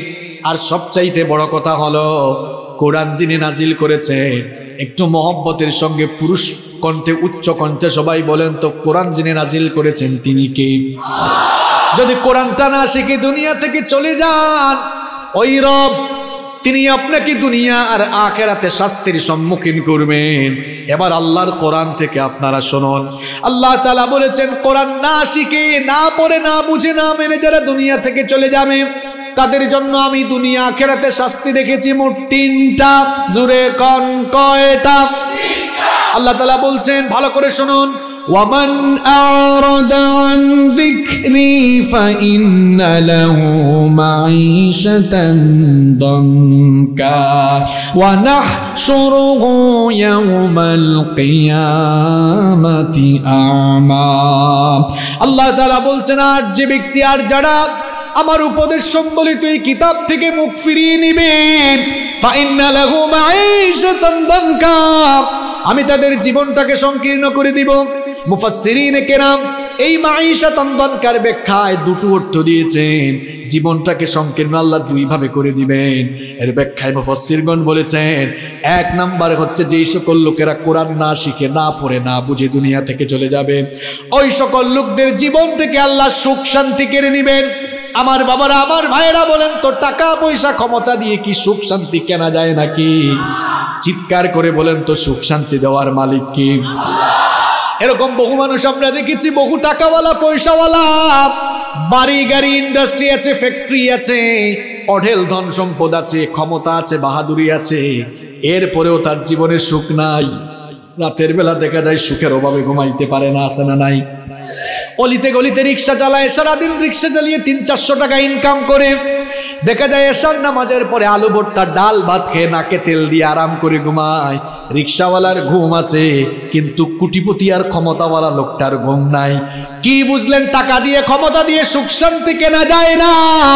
জুড়ে বলেন তো, সুখ শান্তি দেওয়ার মালিককে আল্লাহ বলেছে রে গোলাম, ভালো করে শুনে রাখ। তুই যদি আমার কোরআন না শিখিস, আমার কোরআন যদি না বুঝিস, আমি আল্লাহ নিজেই তোর জীবনের সুখ কেড়ে নিব, তোর জীবনে টাকা থাকবে, ক্ষমতা থাকবে, বাহাদুরি থাকবে, অর্থবিত্ত থাকবে, অডেল ধন সম্পদ থাকবে, কিন্তু তোর জীবনে সুখ থাকবে না। আল্লাহর আয়াত মানুষের জীবনের বাস্তবতার সঙ্গে মিলিয়ে দেখেন, এই নীলা এলাকায় অনেক ভাইরা কোটিপতি আছেন, লাখপতি আছেন, হাজার হাজার কোটি টাকার সম্পদ হয়তো অনেকের আছে, কিন্তু অনেক লোক গিয়ে দেখেন কোরআন না শিকার কারণে তার জীবনে সুখ নাই, দাম্পত্য জীবনে সমস্যা, জীবনে বিশৃঙ্খলা, পারিবারিক জীবনে ঝামেলা, কোনো না কোনো জায়গায় ঝামেলা লেগে আছে। কারণ হচ্ছে লোকটার জীবন থেকে কোরআনকে বাদ দিয়ে ফেলেছে। আল্লাহ বলেছেন, জীবন থেকে যারা কোরআনকে বাদ দিয়ে দিবে, আমি আল্লাহ ওই লোকটার জীবন থেকে সুখ কেড়ে নিব, এটা তার এক নাম্বার শাস্তি। দুই নম্বর শাস্তি হলো মুফাসির গনেই মাইশা নন্দনকার ব্যাখ্যায় বলেছেন যে ওই লোকগুলোর কবরের জীবনকে সংকীর্ণ করে দেওয়া হবে। আমার বাবারা, আমার ভাইয়েরা, এই দুনিয়াতে আমরা আছি, কেউ কিন্তু চিরকাল থাকব না। মৃত্যু আমাদের পেছনে, কবর আমাদের সামনে। কে যে কখন কবরে চলে যায় আমরা জানি না। গত রাতে এই দুনিয়ায় অসংখ্য মানুষ বেঁচে ছিল, তার মধ্যে অনেক মানুষের আজ কবরে প্রথম রাত হয়ে গিয়েছে। আগামীকাল রাত আমার আপনার মধ্যে কারও কারও কারও কারও জন্য কবরের প্রথম রাত হয়ে যেতে পারে কিনা বলেন। কে যে কখন আমরা চলে যাই জানি না। হয়তো অনেকে ভাবছেন, হুজুর, আমরা সুস্থ মানুষ কেমনে মরবো? অনেক সুস্থ মানুষ রাতের বেলা ঘরে ঘুমায় সকাল বেলা লাশ বের হয়। এই রকম আছে না নাই? চোখের পলকে আপনি লাশ হয়ে যেতে পারেন কিনা? চোখের পলকে আমরা লাশ হয়ে যেতে পারি কিনা? চোখেরই পলকে তুমি হতে পারো লাশ। চিরতরে বন্ধ হবে তোমারই নিঃশ্বাস। চোখেরই পলকে তুমি হতে পারো লাশ। চিরতরে বন্ধ হবে তোমারই নিঃশ্বাস। হবে এলান তোমারই নাম মসজিদের মাইকে। বাড়িওয়ালা নাই রে, বাড়ি নাই রে দুনিয়াতে। বাড়িওয়ালা নাই রে, বাড়ি নাই রে দুনিয়াতে। বাড়িওয়ালা নাই রে, বাড়ি নাই রে দুনিয়াতে। বাড়িওয়ালা নাই রে, বাড়ি নাই রে দুনিয়াতে। ক্ষমতার বাহাদুরি যারা করেন, শোনেন। তোমার ভয়ে থাকতো মানুষ ছিল বাহাদুরি। ভাবনি হাওয়ায় ওরা, তুমি যে রঙিন ঘুরি তোমার ভয়ে থাকতো মানুষ ছিল বাহাদুরি। ভাবনি হাওয়ায় ওরা, তুমি যে রঙিন ঘুরি সুতুই টান দিলে মালিক পারবে না থাকিতে। বাড়িওয়ালা নাই রে, বাড়ি নাই রে দুনিয়াতে। বাড়িওয়ালা নাই রে, বাড়ি নাই রে দুনিয়াতে। বাড়িওয়ালা নাই রে, বাড়ি নাই রে দুনিয়াতে। বাড়িওয়ালা নাই রে, বাড়ি নাই রে দুনিয়াতে। গাড়ি বাড়ি মিল ফ্যাক্টরি টাকারও পাহাড়। বিলাসিতায় কেটেছে জনম কত অহংকার। বাড়ি গাড়ি মিল ফ্যাক্টরি টাকার পাহাড় বিলাসিতায় কেটেছে জনম কত অহংকার। দামি কাপড় ছেড়ে হবে সাদা কাফন পরিতে। বাড়িওয়ালা নাই রে, বাড়ি নাই রে দুনিয়াতে। বাড়িওয়ালা নাই রে, বাড়ি নাই রে দুনিয়াতে। বাড়িওয়ালা নাই রে, বাড়ি নাই রে দুনিয়াতে। বাড়িওয়ালা নাই রে, বাড়ি নাই রে দুনিয়াতে। বাড়ি থাকবে বাড়িওয়ালা, থাকবে না, ঘর বাড়ি পরে থাকবে। কিন্তু ঘরের মালিক, বাড়ির মালিক থাকবে। একশো বছর আগেও তো বহু বাড়িওয়ালা ছিল। কোথায় আজ তারা? অনেকে ক্ষমতার বাহাদুরি করে, দাপটের বাহাদুরি করে। এত ক্ষমতা, এত দাপট, বাহাদুরি থাকবে না, মরে গেলেই সব ক্ষমতা চূর্ণ বিচূর্ণ হয়ে যাবে। গাড়ি বাড়ি অর্থবিত্তের অহংকার করবেন না, কত মানুষ তার গাড়ি বাড়ি অর্থবিত্ত রেখে খালি হাতে কবরে চলে গিয়েছে। Keep your keep in your mind it's your final destination এটা আপনার শেষ গন্তব্য। আপনাকেও এভাবে খালি হাতে চলে যেতে হবে, নিঃস্ব হয়ে। কিছুই আপনার সাথে যাবে আল্লাহর কোরআন না শিখলে দুই নাম্বার কি গজবে পড়বেন শোনে। কবরের জীবনটা সংকীর্ণ হয়ে যাবে। অর্থাৎ এই লোকগুলিকে যখন কবরে রাখা হবে, এই কবরটা তো বড় সাংঘাতিক জায়গা। কবর কি দালান কোটার ঘর নাকি মাটির ঘর? আসতে বলবেন না জুড়ে বলেন, কবর কি দালান কোটা নাকি মাটির ঘর? এয়ারপোর্টে ঢুকলে দেখা যায়, সাধারণ মানুষের জন্য এক ধরনের টার্মিনাল। আবার দেখা যায়, ভিআইপি, সিআইপি যারা তাদের জন্য আরেকটা টার্মিনাল। আবার যারা ভিভিআইপি আছে তাদের জন্য আলাদা টার্মিনাল। আপনি বাসে চড়েন, লঞ্চে চড়েন, বিমানে চড়েন, দেখবেন বিভিন্ন ক্লাসের সিট আছে, বিভিন্ন ক্যাটাগরির সিট আছে। কিন্তু দুনিয়ার একমাত্র জায়গা হচ্ছে কবর, যেখানের মধ্যে আলাদা আলাদা কোনো ক্লাস নাই। আছে? ধনী মানুষের কবর একরকম আর গরিব মানুষের কবর কি আরেক রকম? এই জন্য মানুষ মারা গেলে মাঝে মাঝে কবরে নামিয়েন কবরে নামিয়ে মানুষকে শোয়েন। তাহলে হয়তো আল্লাহর ভয় আপনার অন্তরে জাগ্রত হতে পারে। এই কবর কিন্তু বড় মারাত্মক জায়গা, মাটির বিছানা। দুনিয়ায় তো একটু ক্ষমতা পাইয়া মানুষের জায়গা জমি দখল করে। মনে রাখবেন, আপনার আসল জায়গা হলো মাত্র সাড়ে তিন হাত। এর বেশি কিন্তু আপনার জায়গা নয়। আপনি সর্বোচ্চ সাড়ে তিন হাত জায়গার মালিক। পরশুদিন দেখলাম বাপ মারা গিয়েছে। পরশুদিন বা তার আগের দিন মনে হয় ঘটনা। বাপ মারা গিয়েছে। ছোট ভাই, সে দেখা যায় জায়গা জমি বাঘ বাটোয়ারার জন্য বাবার লাশটা ফেলে রেখেছে। আপনারা দেখছেন কিনা? কিছুদিন আগে এক ঘটনা ঘটলো। কিছুদিন আগে এক ঘটনা ঘটলো। বাপ অসুস্থ মানুষ, বাপের অনেক টাকা পয়সা আছে। এখন বড় ছেলে চিন্তা করল, আমার বাবাকে যদি চিকিৎসা করায়, তাহলে সম্পদের ভাগ পাইতে দেরি হয়ে যাবে। বড় ছেলে, সে বাপের চিকিৎসা করালো না, চিকিৎসার অভাবে ভাব, বাবা দুকে দুকে মারা গেল। এরপরে বাবার সব সম্পত্তি একা দখল করে ফেলল। এই রকম পূজার সন্তান, এইরকম ডাকাইত আমাদের সমাজে আছে না নাই? ওই সকল ডাকাতদেরকে বলতে চাই, হাজার হাজার বিঘা সম্পদ নিয়ে তুমি কবরে যেতে পারবে না। তোমার জন্য মাত্র সাড়ে তিন হাত জায়গা বরাদ্দ। এই সাড়ে তিন হাত জায়গা ছাড়া তোমার আর কোনো জায়গা নাই। পৃথিবীতে করো কত সম্পদশালী মানুষ মারা গিয়েছে? কেউ কিন্তু সম্পদ নিয়ে দুনিয়া থেকে যেতে পারে? আপনিও দুনিয়া থেকে সম্পদ নিয়ে যেতে পারবেন না। আরে ভাই, সম্পদ তো দূরের কথা। মাথার একটা টুপি এমনকি গায়ের? কোনো কাপড়, অর্থাৎ লুঙ্গি পর্যন্ত নিয়ে যাইতে পারবেন? সাদা কাপড় পরে আপনাকে চলে যেতে হবে আর ওই কবর বড় মারাত্মক জায়গা। দুনিয়ায় তো আপনার বিছানা নরম না হলে তুলতুলের নরম বিছানা না হলে, সুন্দর পরিপাটি, সুন্দর ডিজাইনের বিছানা চাদর না হলে আপনি ঘুমান না। রাতের বেলা ঘুমানোর আগে দেখা যায় বিছানা খুব সুন্দর করে পরিষ্কার করেন, কিন্তু কবর হলো মাটির জায়গা, মাটির বিছানা, ওখানে পরিষ্কার করার কোনো সিস্টেম নাই, এখন শীতের দিনে শীতকাল তো শেষ, বসন্তকাল চলে এসেছে। কবর খুললেই দেখবেন ডানে বামের নিচ থেকে পিঁপড়া পোকামাকড় উঠে। আবার বর্ষাকাল সামনে আসতেছে, বর্ষাকালে দেখবেন কবর খুললেই নিচ থেকে কে উঠে? আসতে বলবেন না, জোরে বলেন, কে উঠে? ওই পানির মধ্যে মানুষ কিন্তু আপনাকে সয়া রেখে চলে আসবে। যেই ছেলে মেয়ে স্ত্রী সন্তানদের জন্য এত কিছু করেছেন আরে কি হৃদয় বিদারক দৃশ্য! যে ছেলে মেয়েদের জন্য এত কিছু করলেন, মারা যাওয়ার পর ওই ছেলে মেয়েরাই তাড়াহুড়া করবে আপনাকে মাটির কবরে রেখে আসার জন্য। এর চাইতে হৃদয় বিদারক দৃশ্য আর কি হতে পারে? যেই ছেলেদের জন্য এত কিছু করলেন, ওই ছেলেরাই আপনার লাশের বরযাত্রী হয়ে যাবে। আবারও কথাটা বলছে শুনেন, ওই ছেলেরাই আপনার লাশের বরযাত্রী হয়ে যাবে। অর্থাৎ আপনার লাশ বহনকারী তারা হয়ে যাবে। তারাই দেখা যাবে খাটিয়া বহন করে। আপনাকে কবরে নিয়ে গিয়েছে। আপনাকে কবরে শোয়া তারা চলে এসেছে।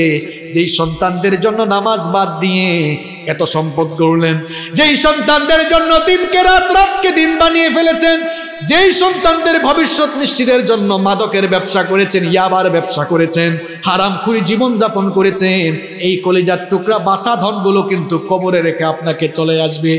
কেউ আপনার সঙ্গে থাকবে না। চল্লিশ কদম যেতে না যেতেই কবরে প্রশ্ন শুরু হয়ে যাবে।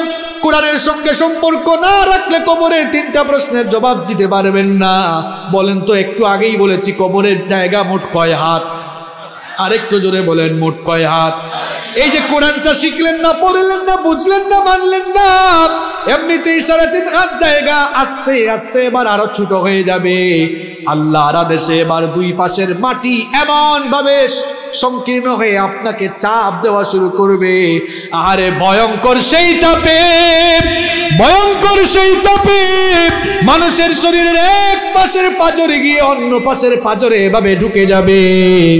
এই রকম করে কবরের মধ্যে ভয়াবহ শাস্তি চলতে থাকবে কীভাবে আপনারা কোরআনটা এখনও শিখলেন না? এ যুবক ভাইরা, কেন তোমরা এখনও কোরআনটা শিখলে না? কবরের আজাবের বই কি তোমার দিলের ভেতরে নাই? আমার বাবাদেরকে বলছি তাদের বয়স চল্লিশ পঞ্চাশ বছর হয়ে গেল বাবারের চুল দাড়ি তো পেকে গেল, কবর তো সামনে। এখনও কি ওই কবরের আজাবের ভয়টা দিলের মধ্যে নাড়া দেয় না? এখনও কি কবরের আজাবের ভয় কলিজাটা কেঁপে উঠে না? কবে আপনি আল্লাহর কালামটা শিখবেন, কোরআন শিখবেন? কোরআন যারা শিখবে না, তাদের জন্য দুই নাম্বার শাস্তি হলো, কবরের মধ্যে তাদেরকে শাস্তি দিবে। কবরের মধ্যে তাদেরকে এইভাবে শাস্তি দেওয়া হবে কার হুকুমে? আসতে বলবেন না জোরে বলেন কার হুকুমে? আমি বলেছিলাম, কোরআন যারা না শিখে, না পড়ে, না বুঝে দুনিয়া থেকে চলে যাবে, দুনিয়া আখেরাতে আল্লাহ তাদের জন্য শাস্তি রেখেছেন মুঠ কয়টা? এক নাম্বার বলেছিলাম, তাদের জীবন থেকে সুখ শান্তি কেড়ে নেবেন কে? আরো জোরে বলেন সুখ শান্তি কেড়ে নিবেন কে দুই নাম্বার বলেছি তাদের ক- তা- এ- এই সকল লোকদেরকে কবরে রাখার পরে শাস্তি শুরু হয়ে যাবে কার হুকুমে তিন নাম্বার শাস্তি হল শুনেন আল্লাহ তালা পরের আয়াতে বলছেন ونحشره يوم القيامة أعمى আল্লাহ তালা বলছেন তিন নম্বর শাস্তি হবে এদের জন্য এই কবরের জীবন একদিন শেষ হবে। কোন দিন? যেদিন ইসরাফিল সিঙ্গার ফুৎকার দিবে। তখন যে ঘটনা ঘটবে, কোন দিন হবে সেদিন? আরও জোরে বলেন, কোন দিন? কেয়ামতের দিন যখন কবর থেকে মানুষগুলোকে উঠানো হবে, এই সকল লোকদেরকে অন্ধ করে দেওয়া হবে। অন্ধ অবস্থায় তাদেরকে কবর থেকে উঠানো হবে। এই নীলা অঞ্চলের হয়তো কিছু কিছু মানুষ সেখানে থাকতে পারে।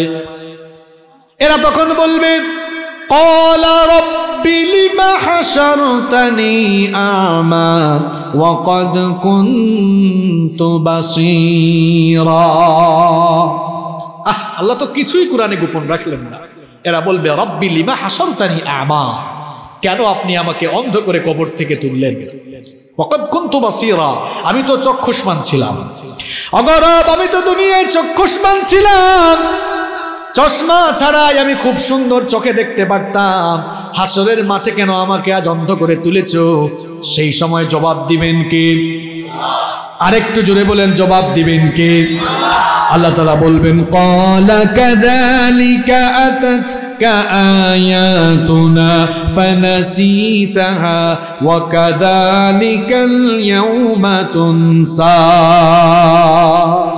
আল্লাহ তাআলা বলবেন কাদালিকা আতাতকা আয়াতুনা ফানাসিতাহা কপাল পোড়া। তোর কাছে তো আমার কিতাব কোরআন গিয়েছিল। তোর ঘরে আমার কিতাব কোরআন ছিল। চক্ষু থাকার পরেও অন্ধ হয়ে গিয়েছিল। চোখে দেখোস নাই। সব পড়লি কিন্তু কোরআন পড়লি না। দুনিয়ায় তুই আমার কিতাব কোরআনকে যেমন ভুলে গিয়েছিলে ওকাদারিকাল ইয়াউমা তুনসা, আজ হাসরের মাঠে তোর মতো গুলামকেও আমি আল্লাহ ভুলে গেলাম। বিল্লাহ। কি মারাত্মক কথা, কি ডেঞ্জারাস কথা। দুনিয়ায় তুই আমার কোরআনকে যেভাবে ভুলে গিয়েছিলে, আজ হাসরের মাঠে তোর মতো গুলামকে আমি আল্লাহ ভুলে গেলাম। কে আর বাঁচাবে আপনাকে? কে নাজাদ দিবে আপনাকে?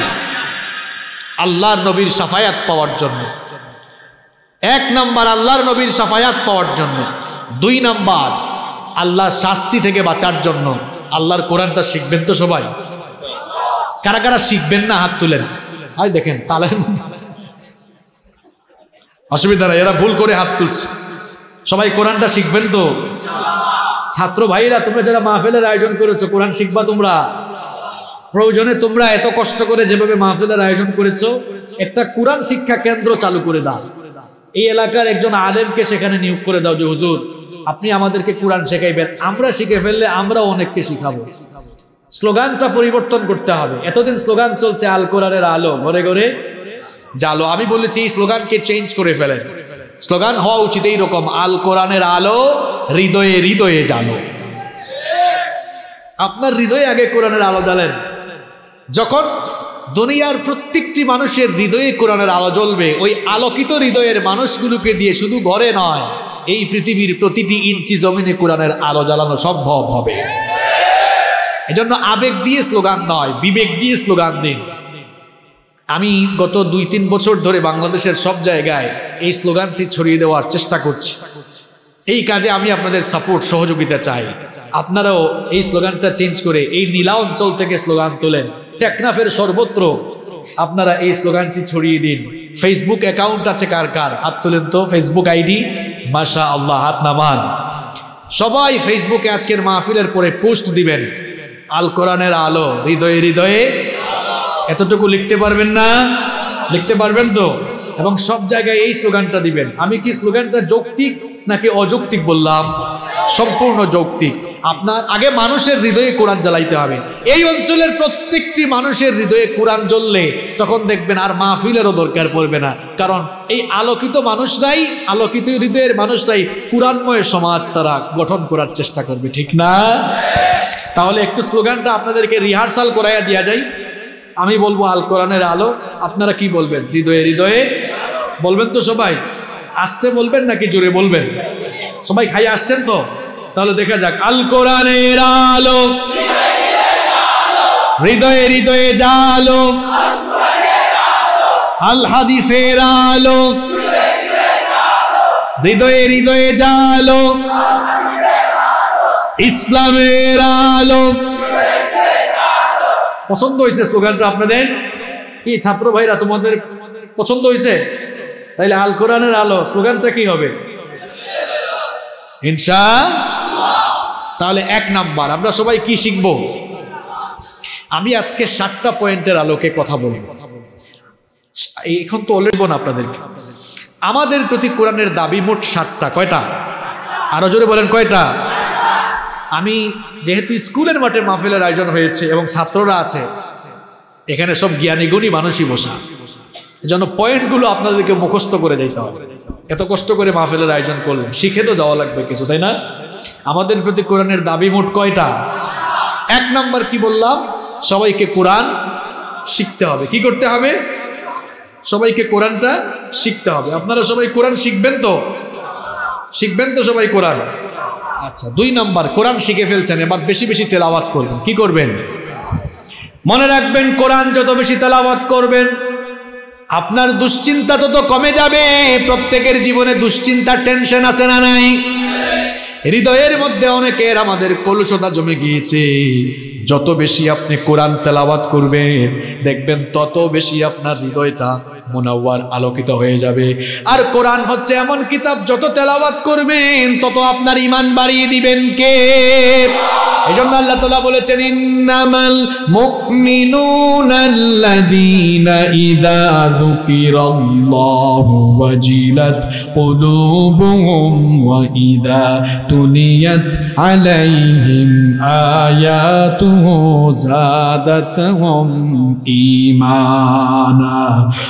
আলা রাব্বিহিম ইয়াতাওয়াক্কালুন আল্লাহ তাআলা বলছেন, নিশ্চয়ই তো তারা।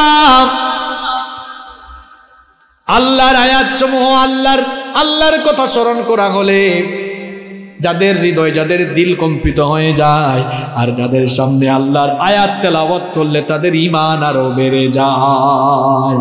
তাহলে কোরআন যত বেশি তালাওয়াত করবেন কোরআন যত বেশি শুনবেন, তত বেশি ইমান বাড়ায়া দিবেন কি? ফজরের পরে ঘরের মধ্যে কোরআন তেলাওয়াতের সাউন্ড যেন হয়। আগের যুগে আমরা, বিশেষ করে আমরা ছোটবেলায় দেখেছি, ঘরে ঘরে কোরআনের তেলাওয়াত হতো, এখন দেখা যায় আটটা পর্যন্ত ঘুমায়। কোরআন কি তেলাওয়াত করবে, ফজরের নামাজটাই পড়ে না, আছে না নাই?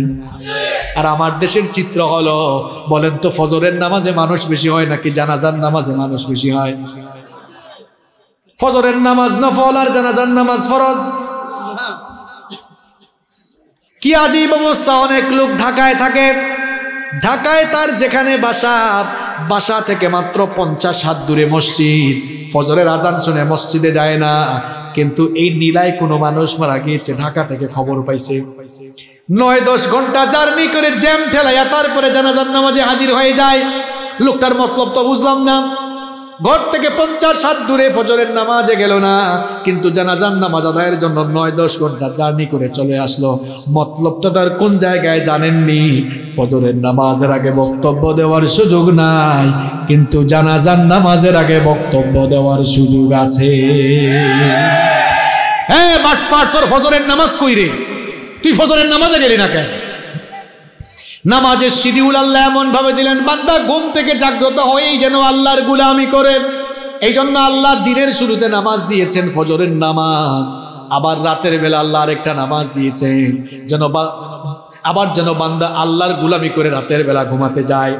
ফজর আর এশার নামাজ অনেকের বেশি মিস হয়, বিশেষ করে মুনাফিকি অন্তর যাদের, ফজর আর এশার নামাজে তারা গাফলতি করে থাকে। আর নবীজি বলেছেন, এই দুই নামাজের ফজিলত যদি মানুষ জানতো, তাহলে হামাগুড়ি দিয়ে হলেও এসে জামাতে হাজির হয়ে যেত। আল্লাহ আকবার। ফজরের নামাজ ছেড়ে দেয় ঘুমিয়ে থাকে। অথচ ফজরের নামাজটাই হচ্ছে দিনের শুরুতে এই অথচ ফজরের নামাজটা হলো দিনের শুরুতে প্রথম নামাজ। সবাই একটু জুড়ে বলেন তো, নামাজ আদায় করলে খুশি হন কে? আর নামাজ ছেড়ে দিলে সবচেয়ে খুশি হয় কে? তো আপনি দিন শুরু করেন। কার গুলামি করে নিজের বিবেককে প্রশ্ন করুন। একজন ইমানদার কখনো নামাজ ছেড়ে দিতে পারে না।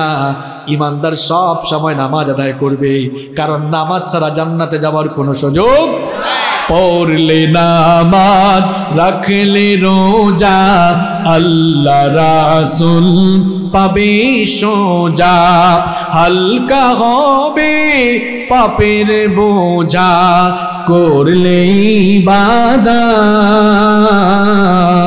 পাবে তুমি রোজ হাসরে প্রতিদানে জান্নাত প্রতিদানে জান্নাত প্রতিদানে জান্নাত Keep in your mind, Salat is the key of success. সালাত is the key of paradise নামাজ হচ্ছে সফলতার চাবি। নামাজ হচ্ছে জান্নাতের চাবি।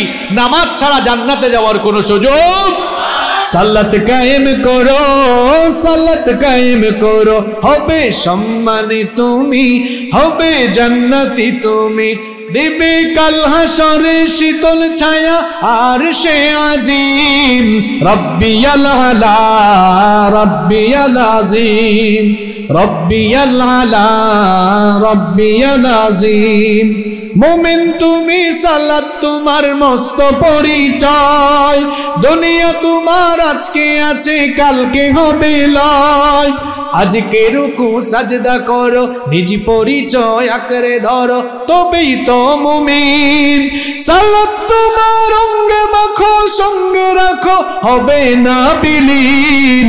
রব্বি আল্লাহ রব্বি আজিম রব্বি আল্লাহ রব্বি আজিম রব্বি আল্লাহ রব্বি আজিম নামাজ পড়বেন তো? ফজরের নামাজের পরে ঘরের মধ্যে বেশি করে কোরআন তালাওয়াত করবেন। ঘরের মধ্যে বরকত নাজিল করবেন কি? ঘরের মধ্যে বরকত নাই কারণ আপনার ঘরের মধ্যে কোরআনের তেলাওয়াত নাই। ঘরটাকে এমন ঘর বানান আনতাজালাল বাইতা মাকানাল লিযিকরিল্লাহ। ঘরটাকে আল্লাহর জিকিরের ঘর বানান। আর সর্বশ্রেষ্ঠ জিকির হচ্ছে কোরআনের তেলাওয়াত, ঠিক কি না? এই জন্য নিজে বেশি বেশি কোরআন তেলাওয়াত করুন। এটা হচ্ছে কোরআনের দুই নাম্বার হক। কষ্ট হচ্ছে না তো আপনাদের? কয়টা পয়েন্ট বলব? আরও জোরে? এক নাম্বার কোরআন শিখব, দুই নাম্বার বেশি বেশি তিলাওয়াত, তিন নাম্বার ঘরের সবাইকে কোরআন শিখাই ফেলবে। বাচ্চাদের আগে নিজের বউকে কোরআন শেখান কারণ আপনার স্ত্রী হচ্ছে সন্তান উৎপাদনের কারখানা। আপনার স্ত্রী তাকে যত নেককার হিসাবে তৈরি করবেন, সন্তানগুলো ভালো হওয়ার সম্ভাবনা কম না বেশি। আপনার স্ত্রীকে কোরআন শেখান। যদি কোরআন শিখে না থাকে, আপনি শিখাই ফেলেন। নইলে একজন ফিমেল টিচার রাখেন। কোরআনটা শিখান। মনে রাখবেন, মহিলার পেট শুধু পেট নয়, এখান থেকে বড় বড় আল্লাহর অলির পয়দা হয়েছে।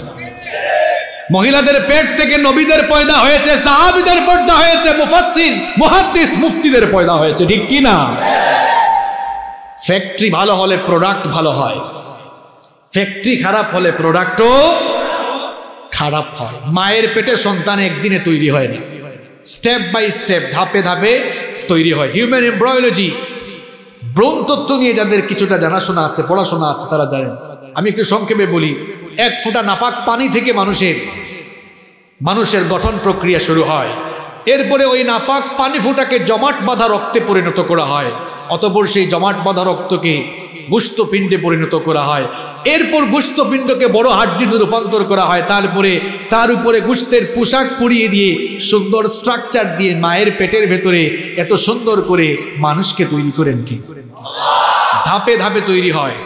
ব্রণ তত্ত্ব নিয়ে যারা রিসার্চ করেছেন, গবেষণা করেছেন, তারা বলছেন, a child gets hearing before sixteen weeks of birth একটি শিশু পৃথিবীতে আসার আগে যখন সে মায়ের পেটে থাকে, জন্মের ষোলো সপ্তাহ অর্থাৎ চার মাস আগে, জন্মের চার মাস আগে মায়ের পেটে থাকাকালীন সে শুনতে পায়।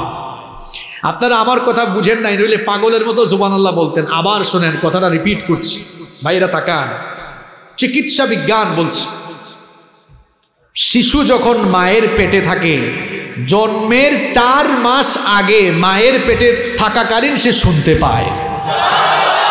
আপনারা বলবেন, হুজুর, বিজ্ঞান তো দেখে অনেক আগাই গেছে। বিজ্ঞান যতই আগা কোরআনের ধারে কাছে ও। এই তথ্য কোরআনে নাই না? আছে আপনি খুঁজে বের করতে পারেন নাই। শ্রবণ শক্তির কথা বুঝাতে গিয়ে আল্লাহ তালা কোরআনে বলেছেন, কোরআনে যে শব্দটি ব্যবহার করেছেন সেটা হচ্ছে আর দৃষ্টিশক্তির কথা আল্লাহ বুঝাতে গিয়ে কখনো কখনো বসর, কখনো কখনো আফসার বহু বচনে আফসার ব্যবহার করেছেন। দৃষ্টিশক্তির বেলায় আল্লাহ বাসর বা আফসার আর শ্রবণ শক্তির বেলায় সামহন শব্দ আল্লাহ দিয়েছেন। এখানে অসংখ্য আলেমলামা বসে আছেন। কোরআন খুলে দেখুন। কোরআনের সব জায়গায় আল্লাহ তালা বাসরের আগে সাম সাম এর পরে বাসর দিয়েছেন। যেমন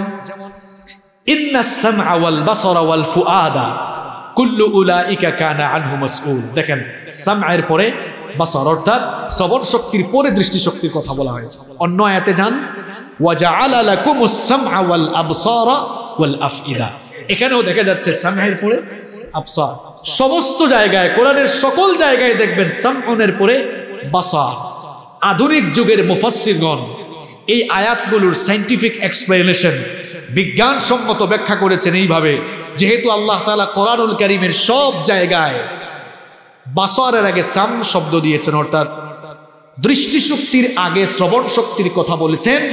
সুতরাং এই আয়াতগুলোর সাইন্টিফিক ব্যাখ্যা হলো এই যে আসলে মানুষ আসলে মানুষ দৃষ্টিশক্তি লাভ করার আগে শ্রবণ শক্তি লাভ করে। আল্লাহ আকবার। তাহলে কোরআন আগে না বিজ্ঞান আগে? এবার আসেন, আপনারা তো আবার অরিজিনাল কথাবার্তা না হইলে ফেক কথা বিশ্বাস করেন না, বাস্তবিক কথা বিশ্বাস করেন। বিবাহিত ভাইরা মনোযোগ দেন। অবিবাহিত যারা তোমরা রাগ করো না, তোমরা তো মিসকিন, তোমরাও সামনে বিয়ে করবা, ইনশা তোমরাও শোনো। তাহলে কোরআন আর বিজ্ঞান বলছে, শিশু জন্মের কয় মাস আগে মায়ের পেটে শোনে? আঙ্গুল দেখে বলেন, কয় মাস? চার মাস। ওকে, ফাইন। কোরআন, বিজ্ঞান, একমত না দ্বিমত? কথা বলেন, একমত না দ্বিমত? একমত। এবার দেখেন, আপনার স্ত্রী যদি খারাপ হয়, আপনার সন্তানকে পেটে নিয়ে হিন্দি সিনেমা, বাংলা সিনেমা, বাংলা গান, হিন্দি গান ডিজে গান আর ঝাঁকানাকা ঝাঁকানাকা গান শুনবে। কোরআন বিজ্ঞান বলছে, জন্মের কয় মাস আগে সন্তান শোনে? কথাটা বাস্তবিক না অবাস্তবিক? তাহলে আপনার স্ত্রী যদি সন্তান পেটে নিয়ে এই কারবার করে, সারাদিন হিন্দি গান, বাংলা গান আর ঝাঁকানাকা ঝাঁকানাকা গান শুনে, ওই মহিলার পেট থেকে যেগুলো আসবে, ওইগুলো ঝাঁকানাকা ঝাঁকানাকা মার্কা হবে। আর বউটা যদি কোরআনের তেলাওয়াতকারী হয় পাঁচ ওয়াক্তের নামাজি হয়, জিকির আসকার তাসমি তাহারিলকারী হয়। সন্তান পেটের ভেতর থেকে শোনে। শোনে? সন্তান জন্মের আগেই মায়ের পেটে থেকে শালিক কোরআনের তেলাওয়াত শুনে, জিকির আসকার শুনে তাসবি তাহাল্লুল শুনে, এই মহিলার পেট থেকে এই সন্তান বের হয়ে এমন চরিত্রবান হবে, বড় বড় বুজুর্গ আল্লাহ আল্লাহর অলি হয়ে যাবে। এই জন্য বলেছি, কোরআন সবার আগে কাকে শিখাবেন আপনার? স্ত্রীকে। এরপরে সন্তানগুলারে কোরআন শিখাবেন। আপনার সন্তানকে ওয়া কখ এবিসিডি শিখাবেন পড়ে। আলিফ, বা, তা তা শেখাবেন সবার আগে। ইংলিশ মিডিয়ামে পড়ান ও লেভেল এলেভেলে পড়ান সায়েন্স কমার্সে পড়ান, এটা পড়ে করবেন, সবার আগে কি শেখাইবেন? কি আজীব অবস্থা আপনাদের বাচ্চাগুলো চমৎকার করে ইংরেজিতে কথা বলতে পারে। প্রোনাউন্সিয়েশন কত চমৎকার, কিন্তু আপনাদের বাচ্চারা কোরআন খুললে পড়তে পারে না। এ কেমন বাচ্চা রেখে যাচ্ছেন আপনি? মাঝে মাঝে সমাজে কিছু চিত্র আমরা দেখি, বাবা মারা গেলে আমাদের কাছে কিছু যুবক এসে মাঝে মাঝে বলে, হুজুর, আব্বু মারা গিয়েছে জানাজান নামাজ কেমনে পড়ব একটু শিখায় দেয় আফসোস! এ কেমন সন্তান রেখে গিয়েছেন আপনি? একে তো নামাজই শিখায় যান নাই আপনি। সে জানে না জানাজান নামাজ কেমনে আদায় করতে হয়। একজন নেককার সন্তান রেখে যান দুনিয়ায় সন্তানগুলোকে আল্লাহওয়ালা বানান, সন্তানগুলোকে দিনের শিক্ষায় শিক্ষিত করেন। আপনি যখন দুনিয়া থেকে চলে যাবেন, তখন এই সন্তানগুলোই দেখবেন, এই দিনদার সন্তানগুলোই দেখবেন কবরের পাশে দাঁড়িয়ে, চোখের পানি ছিঁড়ে দিয়ে আপনার জন্য দোয়া করবে রব। বীর হামহুমা কামা রব্বায়ানি সবাই বলেন, রব হামহুমা কামা রব্বায়ানি সগীরা এই সৌভাগ্য অর্জন করতে চান? সন্তানকে আগে দিন শেখান, এরপরে ডাক্তার বানান, ইঞ্জিনিয়ার বানান, ব্যারিস্টার বানান, লয়ার বানান, যা মন চায় বানান। আগে কোরআন শিখাই ফেলছেন তো, এটা নষ্ট হওয়ার সম্ভাবনা। আর কোরআন শিখাবেন না আগে, এটা ডাক্তার হলে কষাই ডাক্তার হবে। এটা ইঞ্জিনিয়ার হলে রডের বদলে বাস দেওয়া লুক হবে। এটা সচিব হলে হবে। এটা মেম্বার চেয়ারম্যান হইলে জনগণের সব সম্পদ পেটের ভিতর ঢুকাই ফেলবে। আর আপনি তাকে কোরআন শিখান। দেখবেন তার ভেতরে আল্লাহর ভয় পয়দা হয়ে যাবে। ঠিক কি না? তাহলে কোরআনের তিন নম্বর দাবি হলো কোরআন আপনি, এক নম্বর বললাম, কোরআন শিখবেন, দুই নম্বর তেলাওয়াত করবেন, তিন নম্বর ঘরের সবাই রে কোরআন কষ্ট হচ্ছে না তো? আচ্ছা এরপরে নাম্বার ফোর, কোরআন বুঝতে হবে। তুতা পাখির মতো কোরআন পড়লে চলবে না। কারণ কোরআন শুধুমাত্র তেলাওয়াতের জন্য আসে নাই। হ্যাঁ এই কিতাব তেলাওয়াতেরও ফজিলত আছে। তেলাওয়াত করলেই প্রত্যেক হরফে কত নাকি? দশ নাকি। কিন্তু আপনি অর্থ না বুঝলে কোরআনের আলোকে জীবন গঠন করতে পারবেন না। কোরআন এসেছে শুধু পড়ার জন্য নয়, মানার জন্য। মানতে গেলে জানতে হয়, জানতে গেলে পড়তে হয়। পড়েছেন, এবার জানবেন, জানলেই মানতে পারবেন। আপনি কোরআন বুঝেন নাই বলে আজ মাদক কারবারে জড়িত। আরে বাপরে বাপ, মাদক কারবারিদেরকে চিনাও বড় মুশকিল।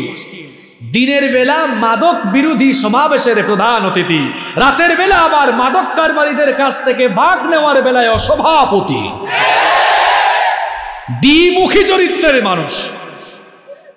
আমি জানি না টেকনাফে আছে কিনা, আমাদের সিলেটে এই দোকানের লোক আমি দেখেছি। আপনাদের এলাকায় আছে? দিনের বেলা মাদক বিরোধী সমাবেশে প্রধান অতিথির চেয়ারটা দখল করে মাদকের বিরুদ্ধে বক্তব্য দেয়। এরপরে দেখা যায় কিছু কিছু লোক আছে, রাতের বেলা আবার মাদক কারবার মাদক কারবারিদেরকে বলে, ভাগ আমার দিস। তাহলে তুই বাঁচবি। আছে এরকম? এ আর কি মাদক কারবারি এই মাদক কারবারি ছাড়া চাইতে ডাকাত মাদক কারবারি হচ্ছে এই প্রধান অতিথি। কোন প্রধান অতিথি? যে দিনের বেলা মাদক বিরোধী সমাবেশেরও প্রধান। অনেক জায়গায় এরকম আছে না? তবে অনেক ভালো মানুষও আছে। ওই দিন আমি এক এলাকায় গেলাম। দেখলাম চেয়ারম্যান সাহেব খুব ডেঞ্জারাস মানুষ। চেয়ারম্যান সাহেব দাঁড়ায়া বলল আমার সামনে, কয়, মাদকের বিরুদ্ধে জিরো টলারেন্স নির্বাচনে জিতলে জিতবো না জিতলে নাই। মাদক নিয়ে যারা কাজ করবে কারও রেহাই নাই। খুব শক্ত ভাষায় বক্তব্য দিল। ভাবলাম মনে হয় খালি বক্তব্যই দিছে। এলাকার মানুষ যারা ছিল বিশেষ করে যুবকদেরকে জিজ্ঞেস করলাম কয় হুজুর কথা বলছে যেমন কাজে কামেও তেমন। তাহলে এমন ভালো মানুষ আছে না? আচ্ছা আল্লাহ যেন এই অঞ্চলের সমস্ত নেতৃবৃন্দকে এমন বানিয়ে দেন। আরও জুড়ে বলেন আমিন। কোরআনটা বুঝবেন। কোরআন বুঝলে মা বাবার সঙ্গে বেয়াদবি করত, না, কোরআন বুঝলে ওজনে কম দিত, কোরআন বুঝলে অন্যায় করত। আমরা কোরআন বুঝি না বলে অন্যায় করি। দেখবেন কিছু মানুষ আছে, নামাজেও সামনের কাতারে সুদ খাওয়ার বেলায় হ্যাঁ আগের কাতারে থাকে। আছে? নামাজি হুজুরের পিছনে নামাজ পড়ে, একদম হুজুরের পেছনে যায় নামাজ। নামাজ থেকে বাড়ি যাচ্ছে। কলিমুদ্দিন, তুই তো সুদের টাকাটা দিলি না রে এখনও। আছে? এটা বলে বাড়িতে গেছে। গিয়ে বলে দেখি দেখি কোরআনটা কই দাও তিলাবত করি। আবার কোরআন খুলে শুরুও করছে সুদের আয়াত। তেলাবাত শুরু করতেছি।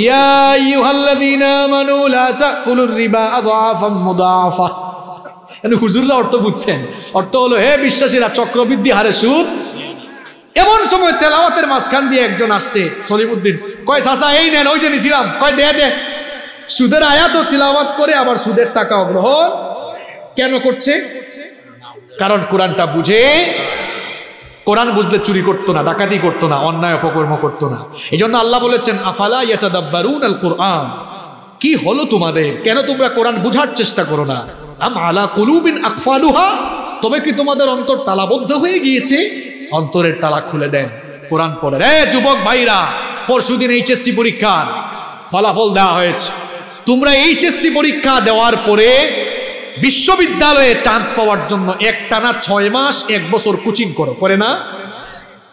ঢাকায় যাও, ঢাকা বিশ্ববিদ্যালয়ে চান্স পাওয়ার জন্য তোমরা অনেকে গিয়ে ঢাকায়ও কোচিং করো। তুমি ঢাকা বিশ্ববিদ্যালয়ে চান্স পাওয়ার জন্য একটানা ছয় মাস কোচিং করতে পারলে, কিন্তু আল্লাহর কোরআন শিখে কোরআনময় জীবন গঠন করে জান্নাতে যাবে। তুমি কি ছয় দিন কোরআন শেখার জন্য কারও কাছে দৌড়াইছো? তোমার বিবেককে প্রশ্ন করো তুমি। আর আমার বাবাদেরকে বলতে চাই, সুপ্রিম কোর্ট থেকে এই নীলায় আপনার কাছে একটা চিঠি আসছে। রাত বারোটার সময় দিয়ে গেছে। একজন, নেন, সুপ্রিম কোর্টের চিঠি একটা আসছে। দিয়ে চলে গেছে। রাত বারোটা বাজে, খাপ থেকে বের করে দেখে ইংরেজি ইংরেজি ভাষায় লেখা। এখন চাচা ইংরেজি জানে না। কয়, সুপ্রিম কোর্টের নোটিশ গ্রেফতারি পরোয়ানা হতো হইতে, কি কি আল্লাহ জানে? একটা দুশ্চিন্তা শুরু হয়ে গেছে। পাশের বাড়ির ছেলে চট্টগ্রাম বিশ্ববিদ্যালয়ে পড়াশোনা করে। রাত সাড়ে বারোটায় গিয়ে নক করছে, ভাতিজা ভাতিজা, ওঠো। চাচা, এত রাতে কি? বাবা যে বাজান, ওঠ। সুপ্রিম কোর্টের চিঠি আসছে। এটা পরে দেখতো কি লিখছে। চাচা সকালে আইসেন, ঘুমাই গেছি আরে বেটা, সকাল হইতে হইতে আমি সদ্য শিখের ভিতরে ঢুকতে। উঠ আগে। উঠাইছে। ওটাই আর চিঠিটা পড়াইছে। আমার বাবা আপনি সুপ্রিম কোর্টের একটা চিঠি বুঝার জন্য সাড়ে বারোটায় যদি একজন লোকের বাড়িতে যাইতে পারেন, বয়স তো কম হইল না রে বাবা। কোরআন বুঝার জন্য কতদিন কত আলেমের কাছে দৌড়াইছেন, নিজের বিবেককে প্রশ্ন করুন। কোরআন শিখুন আপনি, কোরআন বুঝুন, কোরআন বোঝা ছাড়া মুক্তির পথ পাবেন। কোরআন ছাড়া সমাধান পাওয়া যাবে। সমাধান চাও যদি জীবনে, মরণে ফিরে যাও। খুঁজে নাও, চোখ রাখো কোরআনে। সমাধান চাও যদি জীবনে, মরণে ফিরে যাও। খুঁজে নাও, চোখ রাখো কোরআনে। If you want a solution in here and hereafter go back have a look on the holy কোরআন। সব সমস্যার সমাধান দিতে পারে। প্রত্যেকের ঘরে আপনারা বাংলা এক সেট তফসির কিনে রাখেন না কেন? লক্ষ লক্ষ টাকার ফার্নিচার কিনেন। ইসলামিক ফাউন্ডেশন সরকারের প্রতিষ্ঠান। সেখান থেকে বিজ্ঞ উলামায়ে কেরামের বোর্ড আছে। সেখান থেকে বাংলায় অনেক তফসির বের হয়েছে। তফসির ইবনে কাতির আছে। তফসিরে জালালাইন আছে। মারিফুল কোরআন আছে, আরও বিখ্যাত অনেক তফসির আছে। ফি কোরআন আছে, তফহিমুল কোরআন আছে। বাংলায় অনুবাদ করা অনেক তফসির আছে না নাই? এগুলো এক সেট কিনে ঘরে রাখেন না কেন? প্রত্যেক দিন দশ আয়াত করে পড়লে দুই বছরে পুরা কোরআনটা আপনার অর্থ সহ ব্যাখ্যা সহ পড়া হয়ে যায়। সবাই কিনবেন? কিনবেন তো সবাই? এটা কোরআনের কয় নাম্বার দাবি? আরও জোরে? কষ্ট হচ্ছে আপনাদের? আমি কথা রাখব, দশ মিনিট আছে এখন, শেষ করব। কষ্ট হচ্ছে আমার ভাইদের যারা দাঁড়ায় আছে। আল্লাহ গো, এই যে যে ভাইরা দাঁড়ায় আছে, কেয়ামতের দিনে এই মাহফিল যেন তাদের নাজাতের ওসিলা হয়ে যায়। হ্যাঁ? সারা রাত? বাপরে বাপ, কি এনার্জি আসছে হ্যাঁ? আচ্ছা পাঁচ নাম্বার নাম্বার ফাইভ কোরআন অনুযায়ী আমল করতে হবে। কি করতে হবে? কথা তো একটা ভয়ঙ্কর মনে পড়ছে, বলব? আমরা অনেকে কোরআনকে মসজিদের ভিতরে রাখছি। কোরআন আমাদের বাস্তব জীবনে আমল আমরা করি না, ঘরে রেখছি। কিন্তু আমাদের জীবনে কোরআন নাই। এখানে তো কোরআন নাই নলে দেখাইতাম। সবাই আমার দিকে তাকান। আমাদের প্রত্যেকের ঘরে আছে প্রিন্টেড কোরআন, বাংলায় বলি ছাপা কোরআন। ছাপা বুঝেননি আপনারা? নাকি ন বুঝেন? বুঝেন তো? আমাদের প্রত্যেকের ঘরে আছে কি? ছাপা কোরআন। কোরআন যার উপরে নাজিল হয়েছে, তিনি হচ্ছেন আমাদের প্রিয় নবী রহমতুল্লিল আলমিন মোহাম্মদুর রসুল্লাহ সাল্লাল্লাহু আলাইহি ওয়াসাল্লাম। আমাদের ঘরে আছে প্রিন্টেড কোরআন, আর যার উপরে কোরআন নাজিল হয়েছে, নবীজি হচ্ছেন প্র্যাকটিক্যাল কোরআন। সুবহানাল্লাহ। ঘরে আছে ছাপা কোরআন আর নবী ছিলেন জীবন্ত বাস্তবিক কোরআন। অর্থাৎ কোরআনে যা আছে, নবীর জীবনে কোরআনের সব আছে না নাই? এখন আমার আপনার জীবনের সাথে কোরআনের কোনো মিল নাই। এই জন্য কনভার্টেড মুসলিম যারা হয় কনভার্টেড মুসলিম, আমরা তো জন্মগত মুসলমান, তাই না? অনেকে আছে, কোরআন পড়ে গিয়ে মুসলমান হয়, এরকম অনেকে আছে না নাই? আচ্ছা তো অনেক আছে। যেমন একটা ঘটনা মনে পড়ছে, আমি কি বলে ফেলব ঘটনাটা? এই যে ফ্রান্সের বিখ্যাত surgeon, doctor Maurice Bucaille. Doctor Maurice Bucaille আশির দশকের শেষের দিকে ফ্রান্সের প্রেসিডেন্ট ছিলেন তখন ফ্রাসু অমিত্রা। তার শাসন আমলে মিশরের সরকার সরকারের কাছে তিনি চিঠি লিখেছিলেন, ফেরাউনের মরদেহকে, প্রত্নতাত্ত্বিক গবেষণার জন্য তার মরদেহকে যেন কায়রো থেকে ফ্রান্সের রাজধানী প্যারিসে পাঠানো হয়। মিশরের সরকার যখন মরদেহ পাঠালো, ওইদিকে আবার একটা মেডিকেল টিম তৈরি করা হয়েছিল, যার প্রধান ছিলেন ফ্রান্সের বিখ্যাত surgeon professor doctor Maurice Bucaille. তার মরদেহ রিসিভ করে ঢোকানো হলো হসপিটালের বিশেষ ইউনিটে তারপরে গবেষণা শুরু হলো। গবেষণা করতে করতে দেখা গেল, ফেরাউনের মরদেহের মধ্যে, ফেরাউনের নাম শুনছেন নি আপনারা? বিখ্যাত না কুখ্যাত শয়তান? এখন তার দেহ গবেষণা করে দেখা গেল শরীরের মধ্যে লবণের অংশ পাওয়া গেছে। কিসের অংশ? মনিস মুকাইরি বলল, যেহেতু দেহের মধ্যে লবণের অংশ পাওয়া গেছে, তার মানে সে সমুদ্রে ডুবে মারা গিয়েছে। এমন সময় একজন এসে কয়, স্যার, এই তথ্য তো নতুন না। মুসলমানদের ধর্মীয় গ্রন্থ কোরআন। এই কোরআনের দশ নাম্বার সুরা ইউনুস। দশ নাম্বার সুরা না এটা? দশ নাম্বার সুরা। সুরা ইউনুসের নব্বই থেকে বিরানব্বই নাম্বার আয়াত এই ঘটনা এসেছে। সেখানে বলা হয়েছে যে ফেরাউন সমুদ্র ডুবেই মরেছিল, আর বড় আজব তত্ত্ব হলো, তার লাশ নিয়ে যে এখন গবেষণা হবে, এটা যে সংরক্ষিত থাকবে, ওইটাও তাদের কিতাবের ভিতরে আছে। সুমান আল্লাহ কইতে মন চায় না। মরিস বোকাইলি বলল হাউ ইজ ইট পসিবল এটা কীভাবে সম্ভব? কারণ ফেরাউনের লাশ ডুবছে আজ থেকে তিন হাজার বছর আগে। কোরআন নাজিল হয়েছে দেড় হাজার বছর আগে। তো দেড় হাজার বছর আগে নাজিল হওয়া কিতাবে তিন হাজার বছর আগের ঘটনা কেমনে আসলো? আর তার লাশ থাকবে সংরক্ষিত। এই ঘটনাও কেমনে এখানে ভবিষ্যৎবাণী করা হলো? এই কিতাবটা কেমন দেখা দরকার? তো আমি তো তাওরাত, জাবুর ইঞ্জিল পড়লাম। সব জায়গায় দেখলাম ভুল আছে। ওইটাও নিয়ে আসো। দেখি ওইটার কোন কোন জায়গায় ভুল আছে আমি একটু খুঁজে বের করি। নিয়ে আসছি কোরআন। আসার পরে মরিস বুকাইলি কোরআন খুলে দেখে কোরআন কোন ভাষায় লিখা? হে আরবি কোনোদিন পড়ছে? আরে বাপরে বাপ, এগুলা কি? সে তখন তার মাদার ল্যাঙ্গুয়েজে ট্রান্সলেট করে কোরআন পড়ল, বোঝার চেষ্টা করল। সাওয়াবের উদ্দেশ্যে নাকি ভুল ধরার উদ্দেশ্যে? ভুল ধরতে পারল না। ডক্টর মরিস বোকাইলি এবার ইংলিশ ল্যাঙ্গুয়েজে কোরআন ট্রান্সলেট করে কোরআন গবেষণা শুরু করল, তাও কোনো ভুল ধরতে পারল না। সে এবার মনে করল, কোরআন যেহেতু আরবি ভাষায় নাজিল হয়েছে, সুতরাং আরবি ভাষা শিখে তারপরে আরবি ভাষায় কোরআন গবেষণা করলে কোরআনের ভুল আমি বের করতে পারব। এই জন্য কয়েকজন ইসলামিক স্কলারের কাছ থেকে আরবি ভাষা শিখল। আরবি ভাষা শেখার পর কোরআনুল করিমের প্রথম সুরা, সুরাতুল ফাতিহা থেকে নিয়ে কোরআনুল করিমের সর্বশেষ সোরা সুরাতুল নাস পর্যন্ত পুরো কোরআন সে পড়ল, গবেষণা করল। একটা ভুলও খুঁজে পেল না শেষ পর্যন্ত সে দুনিয়ার মানুষকে জানিয়ে গেল, ও দুনিয়ার মানুষেরা, শোনো, আমি ডক্টর মরিস বোকাইলি এসেছিলাম কোরআনের ভুল ধরার জন্য কোরআনের ভুল ধরতে এসে দেখি, এই কোরআন আমার নিজের জীবনের ভুল বের করে দিয়েছে this is the book the most authentic and original book in this world Where of there is no doubt about it.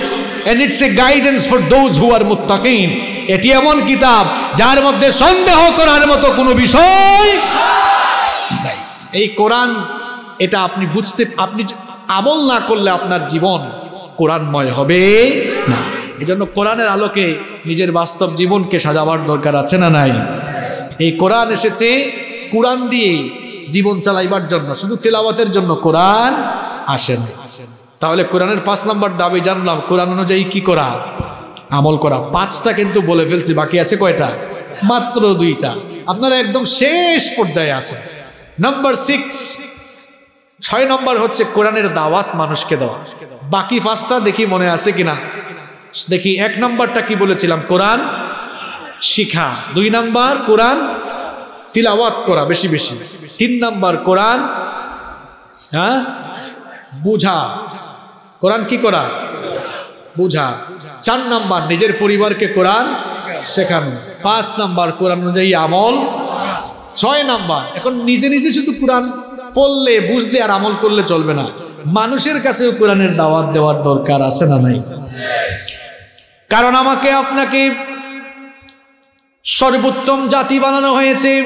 আল্লাহ তালা বলেছেন, কুন্তুম খৈর উম্মাতিন উখরিজাত লিন্নাসি তা تأمرون بالمعروف وتنهون عن المنكر তোমরাই সর্বোত্তম জাতি তোমাদেরকে মানবতার কল্যাণের জন্য বের করা হয়েছে মানুষকে তোমরা সৎ কাজের আদেশ দিবে ভালো কাজের আদেশ দিবে অন্যায় থেকে নিষেধ করবে তোমরা কোরআন দিয়ে মানুষকে সত্যের পথে আমর বিল মারুফ সৎ কাজের আদেশ দিবে অন্যায় কাজ থেকে নিষেধ করবে আল্লাহ তালা অন্যায়তে বললেন ولتكن منكم أمة يدعون إلى الخير ويأمرون بالمعروف وينهون عن المنكر আল্লাহ তালা বলছেন তোমাদের মধ্যে এমন কিছু লোক থাকা উচিত যারা মানুষদেরকে কল্যাণের দিকে আহ্বান করবে, সৎ কাজে আদেশ করবে, অন্যায় কাজ থেকে বারণ করবে, এই কাজ যারা করবে তারা সফল কাম হয়ে যাবে। সুতরাং আপনি আল্লাহর কোরআন শুধু নিজে পড়ে বুঝে আমল করলে চলবে না। কোরআনের দাওয়াত মানুষের কাছে দেওয়ার দরকার আছে না নাই? আপনি মানুষকে কোরআন শিখান, কোরআনের পথে ডাকেন, সত্য কথা বলেন, সত্যের পথে ডাকেন। আমরা জবান থেকে যত কথা বের করি, সবচাইতে উত্তম কথা হলো আল্লাহর প্রতিদিনের দাওয়াতি কথা।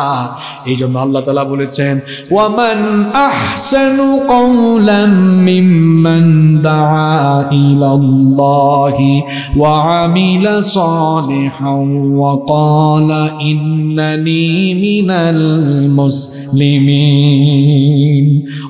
আহসানু কওলাম মিম্মান দাআ ইলাল্লাহ।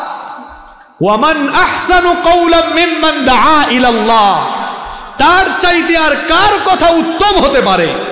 যে তার কথা দিয়ে মানুষকে আল্লাহর দিকে আহ্বান করে। সুবহান আল্লাহ এই যে আমরা যারা কথা বলি, আমরা কোনো ব্যক্তির পূজা করি না। আমরা কোনো দলের দালালি করি না। আমরা কোনো নেতার দিকে মানুষকে আকর্ষিত করি না। কোনো নেতার দিকে মানুষকে ডাকি না। আমরা দালালি করি, তবে আমরা আল্লাহ আর তার রাসুলের দালালি করি। আমরা ইসলামের দালালি করি। আমরা মানুষকে আল্লাহ আর তার রাসুলের দিকে আহ্বান করি। এই দাওয়াতকে কেউ থামিয়ে দিতে পারবে? পৃথিবীতে আগেও যারা থামাতে চেয়েছে, তারা নিজেরাই নিশ্চিন্ন হয়েছে। যারা ভবিষ্যতে থামাতে চাইবে, গোষ্ঠী শুদ্ধ তারা নির্মূল হয়ে যাবে। ইসলাম ছিল ইসলাম আছে, ইসলাম থাকবে। ইসলামের বিরুদ্ধে যারা দাঁড়াবে, তারা কেউ টিকে থাকতে পারবে না। টাকলা মুরাদও থাকতে পারে নাই। কত বড় বড় কথা বলেছে। কয় রাষ্ট্র ধর্ম ইসলাম কেন থাকবে? এ পাগলা, আজকে তো তুই থাকতে পারলি না। এই দেশে আল্লাহ আকবরের ধ্বনিতে সূর্য উঠে আল্লাহ আকবরের ধ্বনিতে সূর্যাস্ত যায়। সুতরাং যেই দেশে আল্লাহ আকবরের ধ্বনিতে সূর্য উঠে আল্লাহ আকবরের ধ্বনিতে সূর্যাস্ত যায়, এই দেশে আর কিছু থাকবে না, থাক, ইসলাম ছিল, ইসলাম আছে, ইসলাম থাকবেই, থাকবে ইনশাআল্লাহ। যারা ইসলামের বিরুদ্ধে দাঁড়াবে, তারা কেউ টিকে থাকতে পারবে না।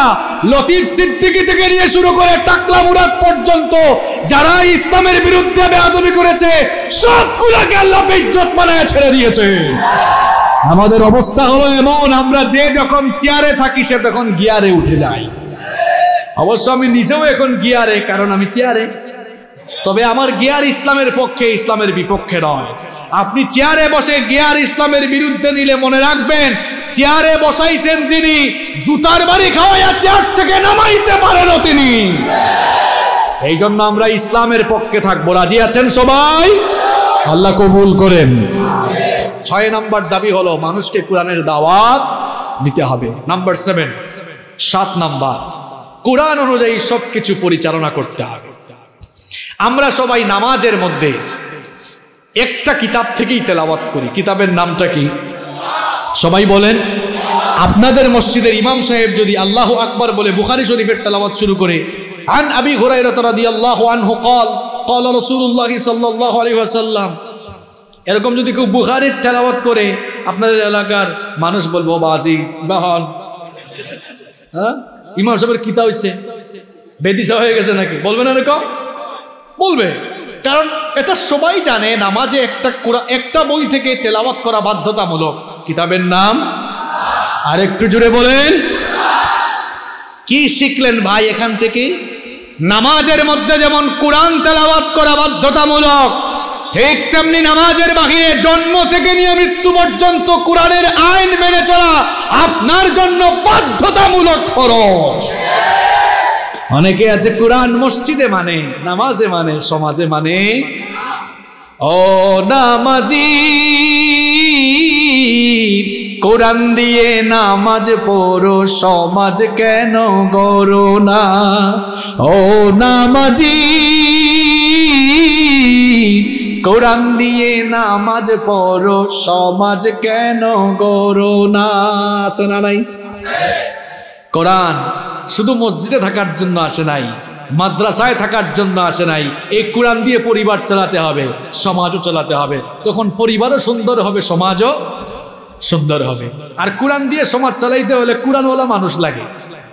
আর কোরআনওয়ালা লোকদের কোরআনওয়ালা লোকদের কোরআনময় শাসনের নমুনা কেমন হয়? ছোট্ট দুইটা ঘটনা বলে আমার আলোচনা আমি শেষ করব। দুইটা ঘটনা বলব, নাকি শেষ করে দিব? খুব ছোট্ট দুইটা ঘটনা আপনারা শুনেন। নবী করিম সাল্লাল্লাহু আলাইহি ওয়াসাল্লামের ওফাতের পরে আবু বকর রাদিয়াল্লাহু আনহু খলিফা হলেন। তিনি খেলাফতের দায়িত্ব থাকাকালীন সময়ে তিনি মুসলমানদেরকে বললেন, আমি যদি খলিফা হয়ে শুধু রাষ্ট্র চালাতে থাকি, আমার সংসার তো চলবে না। এই আমাকে ব্যবসা বাণিজ্য করা দরকার সংসার চালানোর জন্য। ব্যবসা বাণিজ্যে মনোযোগ দিলেন, রাষ্ট্রও চালান, কিছু সময় আবার ব্যবসাও করেন। দেখা যায় ব্যবসা করতে গিয়ে ওই সময়টা রাষ্ট্রের গুরুত্বপূর্ণ কাজে তাকে পাওয়া যায় না। শেষ পর্যন্ত বলা হলো, আপনি আপনার ব্যবসা বন্ধ করেন, রাষ্ট্রের দায়িত্ব পুরোপুরি পরিচালনা করেন এই জন্য মাস শেষে আপনাকে একটা নির্দিষ্ট বেতন দেওয়া হবে। আবু বকর রাদি আল্লাহ তখন বললেন, ঠিক আছে, তাহলে আমার পরিবার চালানোর জন্য যতটুকু দরকার অতটুকু দিবা, এর চেয়ে বেশি দিও না। আবু বকর রাদি আল্লাহ আনহুর জন্য সামান্য বেতন নির্ধারণ করা হলো। এইভাবেই চলছিল। হঠাৎ করে একদিন তার স্ত্রী বললেন, প্রিয়তম স্বামী আমার, বাচ্চারা সারিদ নামক খাবার খেতে চায়, একটু কি ব্যবস্থা করা যায় নাকি? আবু বকর রাদি আল্লাহ আনহু তখন বললেন, রাষ্ট্রের প্রধান হিসাবে যে বেতন বা ভাতা আমাকে দেওয়া হয়, এটা দিয়ে ঠিক মতো সংসার চালাতে পারি না। কেমনে ওইটার ব্যবস্থা করব? বাচ্চাদেরকে কিছু একটা বলে বুঝ দিয়ে দাও। কিছুদিন পরে দেখা গেল আবু বকর রাদিয়াল্লাহু আনহুর করে ওই খাবার প্রস্তুত হলো। তার স্ত্রী তার সামনে খাবার নিয়ে আসলেন। তিনিও মন ভরে পেট পুড়ে খেলেন। খাওয়ার পরে তার হঠাৎ করে মনে হলো, কি ব্যাপার আমাদের ঘরে এই খাবার কূপ থেকে আসলো? তিনি মনে মনে চিন্তা করেছেন, কোনো আত্মীয় স্বজন হয়তো হাদিয়া পাঠিয়েছে, উপহার দিয়েছে।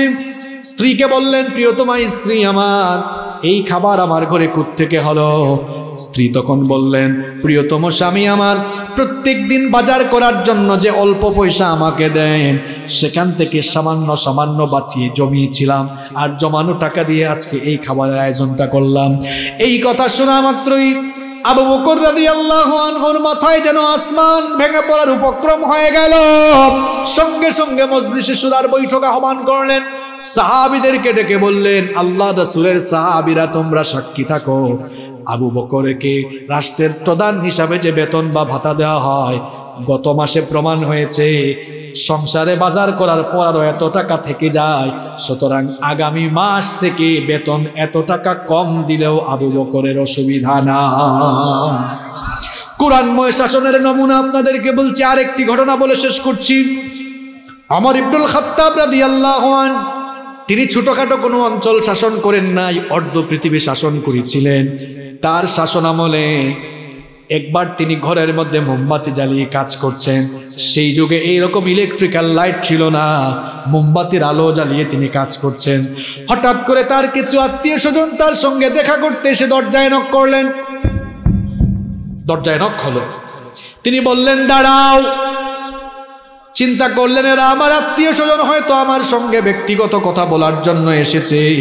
চিন্তা করলেন যে রাষ্ট্রের টাকায়, জনগণের টাকায় কেনা মোমবাতির আগুন জ্বালিয়ে আমি যদি আমার আত্মীয় স্বজনের সঙ্গে ব্যক্তিগত কথা বলি, রাষ্ট্রের সঙ্গে বেইমানি হবে, জনগণের আমানতের খেয়ানত হবে, আল্লাহর কাছে জবাব দেওয়া লাগবে। এই জন্য তিনি নিজের স্বপ্নে থাকা, নিজের টাকায় কেনা মোমবাতির আগুন জ্বালালেন। এরা ভেতরে ঢুকলো। ভেতরে ডেকে জিজ্ঞেস করল, আমিরুল মুমিনের বুঝলাম না ব্যাপারটা। আপনার সামনেই তো মোমবাতি জ্বালানো ছিল। ওইটা নিবাই দেয়া নতুন আরেকটা মোমবাতি কেন জ্বালালেন? তিনি তখন বললেন, তোমরা আসার আগ পর্যন্ত আমি রাষ্ট্রের টাকায়, জনগণের টাকায় কেনা মোমবাতির আগুন জ্বালিয়ে জনগণের জন্য কাজ করছিলাম। তোমরা এসেছ আমার আত্মীয় স্বজন। জনগণের টাকায় কেনা মোমবাতির আগুন জ্বালিয়ে যদি তোমাদের সঙ্গে ব্যক্তিগত কথা বলি, রাষ্ট্রের সঙ্গে বেইমানি হবে, জনগণের আমানতের খেয়ানত হবে। আল্লাহর কাছেও জবাব দেওয়া লাগবে। এই জন্য আল্লাহর ভয়ে আমি আম- রাষ্ট্রের টাকায়, জনগণের টাকায় কেনা মোমবাতির আগুন ফু দিয়ে দিয়ে নিজের টাকায় কেনা মোমবাতির আগুন জ্বালিয়ে তোমাদের সঙ্গে কথা বলছি।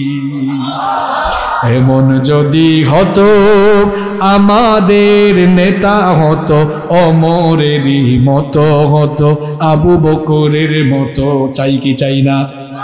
এমন যদি হতো আমাদের নেতা হতো অমরের মতো হতো, আবু বকরের মতো।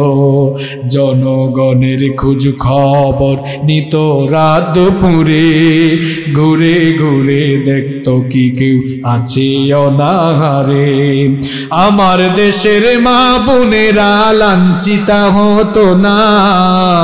আমার দেশের কৃষক শ্রমিক বঞ্চিত হতো না। ধনী, গরিব ভালোবাসার জীবন ফিরে পেত। যদি আমাদের নেতা হতো, মোরেরই মতো হতো, আবু বকরের মতো। আল্লাহ আল্লাহ যেন কবুল করেন, বলেন আমিন। এই সাত নম্বরটা হবে যদি এর আগের ছয়টা ঠিক থাকে। এর আগের ছয়টা ঠিক থাকলে ওই যে বললাম, মানুষের হৃদয়ে হৃদয়ে কোরআন জ্বালাই দিতে হবে। তখন আলোকিত হৃদয়ের মানুষ দিয়ে আলোকিত সমাজ গড়ে উঠবে, ইনশা তাহলে আজ আমরা আলোচনা করলাম কোরআনের কয়টা হক নিয়ে। আঙ্গুল দেখে বলেন, কয়টা? হাত নামান। রিভিশন হবে রিভাইজ হবে, তারপরে আলোচনা শেষ হবে। এমনি এমনি ছাড়বো না। এক নাম্বার, কোরআন শিখতে হবে। কোরআন কেন শিখবেন? কোরআন সাইন্টিফিক কিতাব, বিজ্ঞানময়, বাস্তবিক কিতাব। উদাহরণগুলো মনে আছে? আচ্ছা কোরআন শিখব, এটা কোরআনের এক নাম্বার হক। দুই নাম্বার, কোরআন বেশি বেশি আমরা তেলাওয়াত করি। প্রত্যেকের স্মার্টফোনে যেন কোরআনের অ্যাপস থাকে। বাসে বসে আছেন, কি করবেন? অ্যাপস বের করে কোরআন পড়বেন।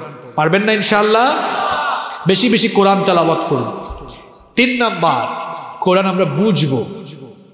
বুঝে না বললে মানতে পারব?